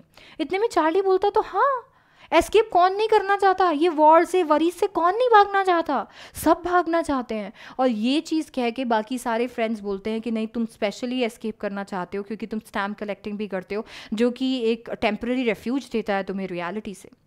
ये एक ऐसी चीज़ है जो कि चार्ली को बहुत बुरी लगती है और वो बोलता है, यार, मेरे ग्रैंड पा भागना चाहते थे नहीं भागना चाहते थे, वो भी तो स्टैम्प कलेक्ट करते थे। इनफैक्ट उन्हीं का स्टैम्प कलेक्शन मेरे पास है। प्रेसिडेंट रूजवेल स्टैम्प कलेक्ट किया करते थे, वो भी किस चीज़ से भागना चाहते होंगे? ये चीज़ सोच के वो बोलता है, चलो एनी वे मैं आपको बताता हूँ। हमें बताता है नरेटर के जैसे वो बोलते हैं, मैं बताता हूँ एग्जैक्टली उस दिन हुआ क्या था। बोलते हैं कि मैं ना लेट तक काम कर रहा था और मुझे रियलाइज़ हुआ कि मुझे अभी लुइज़ा के पास जाना चाहिए और लुइज़ा जो कि मेरी वाइफ है उसके पास जाना चाहिए बहुत लेट हो गया तो उन्होंने सोचा मैं बस की जगह सब सबवे से चला जाऊँगा तो मैं जल्दी पहुँच जाऊँगा। इसके लिए वो सबवे ले लेते हैं। सबवे लेते हैं ग्रैंड सेंट्रल स्टेशन से और ग्रैंड सेंट्रल स्टेशन से वो एकदम मस्त आ, आ, चले आते हैं। फ़र्स्ट लेवल जो होता है वो फ़र्स्ट लेवल पे अभी जैसे ट्वेंटी सेंचुरी में ट्रेन जाती है ट्वेंटी सेंचुरी में जैसे ट्रेन जाती है वैसे ही ट्रेन जा रही होती है। सेकेंड लेवल पर सब अर्बन ट्रेन जाती है। सेकेंड लेवल से ही वो पता नहीं किसी तो कॉरिडोर में मुड़ जाते हैं और फिर खो जाते हैं यार। अभी वो चलते रहते हैं। मतलब उन्हें उन्हें लग रहा है कि वो एक बहुत अजीब से यू नो कॉरिडोर में आए हैं बट फिर भी वो चलते रहते हैं। क्योंकि उन्हें पता है कि कभी कभी ना ग्रैंड सेंट्रल स्टेशन एकदम ट्री के जैसा लगता है, ऐसा लगता है ग्रो कर रहा है और कहीं से कहीं पे भी पहुँचा देता है। बोलते हैं, एक बार तो मैं ना चलते चलते रूजवेल्ट होटल की लॉबी में पहुँच गया था। एक बार मैं चलते चलते ऑफ़िस बिल्डिंग में पहुँच गया था। समझ नहीं आता यार ये ग्रैंड सेंट्रल स्टेशन कहाँ लेकर आ जाता है। वैसे ही वो चलते चलते यू नो एक एक अजीब से जगह पहुँच जाते हैं जहाँ लोगों की आवाज़ आ रही होती है। लोगों की आवाज़ आ रही होती है, बहुत हॉलो आवाज़। एक हॉलो रोर उन्हें सुनाई देता है। एंड जैसे ही वो वहाँ पे स्टेप करते हैं, वो रियलाइज़ करते हैं कि ये जगह बहुत अजीब है। बट उन्हें एक मिनट के लिए लगता है कि सेकेंड लेवल है। बट देन वहाँ पे टिकट विंडोज़ कम होती है। वुडन टिकट विंडो बनी हुई होती है। वहाँ पे लोग अजीब से कपड़े पहने होते हैं। Glass you know gas lights होती है वहाँ पे जो कि फ्लिकर कर रही है यार। ये बहुत पुराने ज़माने की बात है। ब्रास पिटून्स पड़े होते हैं। एक इंसान है जो वेस्ट पॉकेट से अपनी पॉकेट वॉच निकाल रहा है, गोल्ड गोल्डन पॉकेट वॉच निकाल रहा है। एक लेडी है जो लोकोमोटिव से आई है और उसने पुराने कपड़े पहने हुए हैं। फिर वो रियलाइज़ करते हैं कि अभी मुझे, मेरे को पता करना है कि ये क्या हो रहा है। न्यूज़पेपर बॉय के पास जाते हैं और डेट देखते हैं, नीचे तो पहले तो उनको ये दिखता है कि न्यूज़पेपर द वर्ल्ड है, जो कि पता नहीं कब बिकना बंद हो गया, बनना ही बंद हो गया। और पहली जो मेन स्टोरी है, जो लीड स्टोरी है, वो प्रेसिडेंट क्लीवलैंड की है। ये तो प्रेसिडेंट ही चले गए हैं, क्या हो रहा है फिर वो डेट देखते हैं और डेट में उन्हें ईयर दिखता है और वो ईयर था 1894 वो 1894 में आ गए हैं। 1894 में आने के बाद में उन्हें डर नहीं लगता इनफैक्ट वो सोचते वाह! मतलब मैं फ़र्स्ट वर्ल्ड वॉर से 20 साल पहले की दुनिया में आ गया हूँ और मैं सेकेंड वर्ल्ड वॉर से 40 साल पहले की दुनिया में आ गया हूँ। मतलब वर्ल्ड कितना पीसफुल है यार। वाह! एंड देन उन्हें रियलाइज़ होता है कि मुझे ना गेल्सबर्ग इलिनॉइस जाना है, जहाँ मेरे दादाजी रहते थे। इतने बड़े बड़े घर, इतने बड़े बड़े लॉन्स ऐसे ट्रीज से कवर हुआ, हुए हुए सारे स्ट्रीट्स और बड़ी बड़ी शामें। सारे लोग बैठते हैं, बातें करते हैं मैन जो है सिगार स्मोक करते हैं, जो बाकी औरतें वहाँ बैठी है, वो ऐसे वेव कर रही होती है पाम लीव से जुगनू देखने को मिलते हैं। तो ये सारी चीज़ें ना बहुत अच्छी लग रही थी। वो सोचते थे, मुझे ना उसके लिए दो टिकट्स चाहिए। इसके लिए वो जाते हैं टिकट काउंटर में और बोलते हैं कि मुझे दो टिकट्स दे दो। वो बेचारा पूरा फेयर कैलकुलेट करता है और चार्ली पैसे निकाल कर दे देते हैं। अब वो ये तो भूल ही जाते हैं कि एटीन में करेंसी दूसरी है। वो इंसान बोलता है मिस्टर अगर तुम मुझे पागल बना के भागने की कोशिश कर रहे हो ना, तुम ज़्यादा दूर नहीं भाग पाओगे। और ये सोच के चार्ली बोलते हैं, यार, चाहे 1894 हो या फिर ट्वेंटी सेंचुरी जेल कहीं पे अच्छी नहीं होती, चार्ली निकल लेते हैं। नेक्स्ट डे ही चार्ली uh, कुछ तीन सौ डॉलर उनके पास होते हैं उसे चेंज कराते हैं पुराने स्टाइल की करेंसी में। और वो एट अ प्रीमियम होता है यूजुअली तो 200 डॉलर से भी कम उन्हें मिलते हैं। अब 200 डॉलर से भी कम लेकर ही डिसाइड्स कि चलो अभी अभी मैं थर्ड लेवल ढूंढूँगा पर उसके बाद में उन्हें थर्ड लेवल ही नहीं मिलता। लुइजा इतनी परेशान हो जाती है कि वो बोल देती है प्लीज़ थर्ड लेवल को ढूंढना ढूंढना बंद कर दो। एंड फाइनली वो थर्ड लेवल को ढूंढना बंद कर देते हैं और वो स्टैम्प कलेक्शन पर ही आ जाते हैं। वापस से स्टैम्प कलेक्टिंग करने लग जाते हैं और वो स्टैम्प स्टैम्प कलेक्टिंग करते करते उनके हाथ में एक फ़र्स्ट डे कवर आता है। ना what is a first day cover ये जो लोग होते हैं ना, जो दीवाने होते हैं स्टैम्प्स को कलेक्ट करने वाले, ये क्या करते हैं, जब भी कोई नया स्टैम्प रिलीज़ होता है ना तो ये सबसे पहले उसे खरीद लेते हैं, एक ऑनवोलॉप पे डाल देते हैं, उसके अंदर एक खाली पेपर डाल देते हैं और उसको खुद के एड्रेस पे पोस्ट कर देते हैं। जब वो पोस्ट करते हैं तो पोस्ट मास्टर उस पर ठप्पा लगा देता है, जिससे डेट कन्फर्म हो जाती है शो ऑफ़ करने के काम आता है। देखो this is the date this is exactly the date on the stamp Khem you know so so, ऐसा ये दिखाने के लिए और उस ऑनवलॉप को हम फ़र्स्ट डे कवर बोलते हैं। फ़र्स्ट डे कवर में यूजुअली कुछ नहीं होता बट ये फ़र्स्ट डे कवर बड़ा अनयूजल है। ये कभी उन्होंने देखा ही नहीं है। वो फ़र्स्ट डे कवर को खोलते हैं तो उसके अंदर एक लेटर होता है। आपको पता है उनका एक फ्रेंड है सैम जो कि खो गया है। और अभी इस लेटर के अंदर कुछ उसके बारे में ही है। उस लेटर में लिखा होता है कि चार्ली मैं बिलीव करना चाहता था कि तुम सच बोल रहे हो। और अब मुझे यकीन हो गया है कि तुम सच बोल रहे हो। मैं यहाँ पे हूँ मैं थर्ड लेवल से यहाँ पर आ गया हूँ। मैं गेल्सबर्ग इलिनॉइस में हूँ जहाँ पे सारे के सारे जो लोग हैं जहाँ पे सारे के सारे जो लोग हैं वो आ, बैठे हुए हैं। सारे इवनिंग अच्छी खासी हमारी इवनिंग है। कोई तो वहाँ पे गाने आ, कोई तो वहाँ पे गाने गा रहा है। एक मिनट ये वापस से चार्ज क्यों रुक गई है?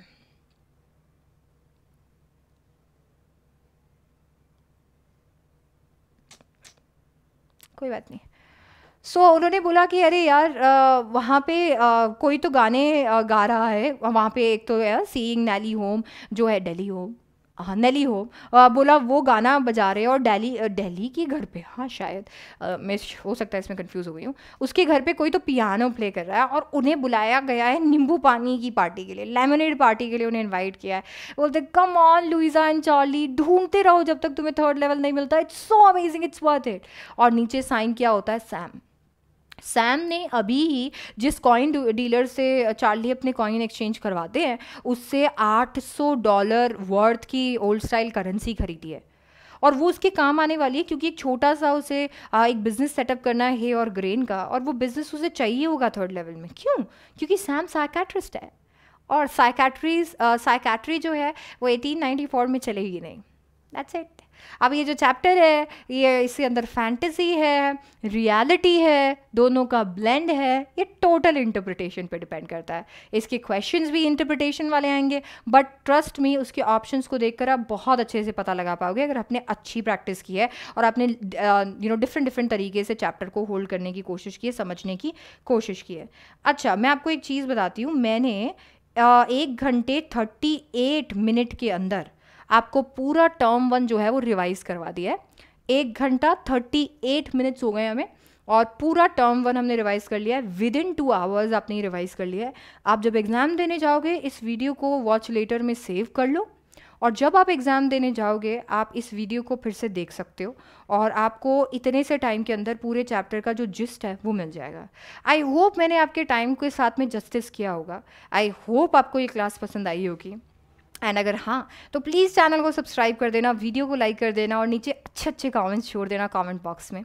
ऑल्सो आप मुझे स्पेशल क्लासेस पे ज्वाइन कर सकते हो और मेरा कोड है S T C live and आप मुझे प्लस क्लासेस पे भी ज्वाइन कर सकते हो, वहाँ पे भी सेम कोड से आपको मिलेगा 15 परसेंट डिस्काउंट और वो 15 परसेंट डिस्काउंट केवल ट्वेंटी फोर्थ ऑफ़ सेप्टेम्बर तक ही है. तो ट्वेंटी फोर्थ ऑफ़ सेप्टेम्बर तक आप प्लस ज्वाइन कर सकते हो और मेरे साथ ये सब कुछ पढ़ सकते हो डिटेल में। एंड एक बहुत एक्साइटिंग कोर्स आने वाला है अक्टूबर में। बट अभी वो सीक्रेट है, बाद में बताऊँगी।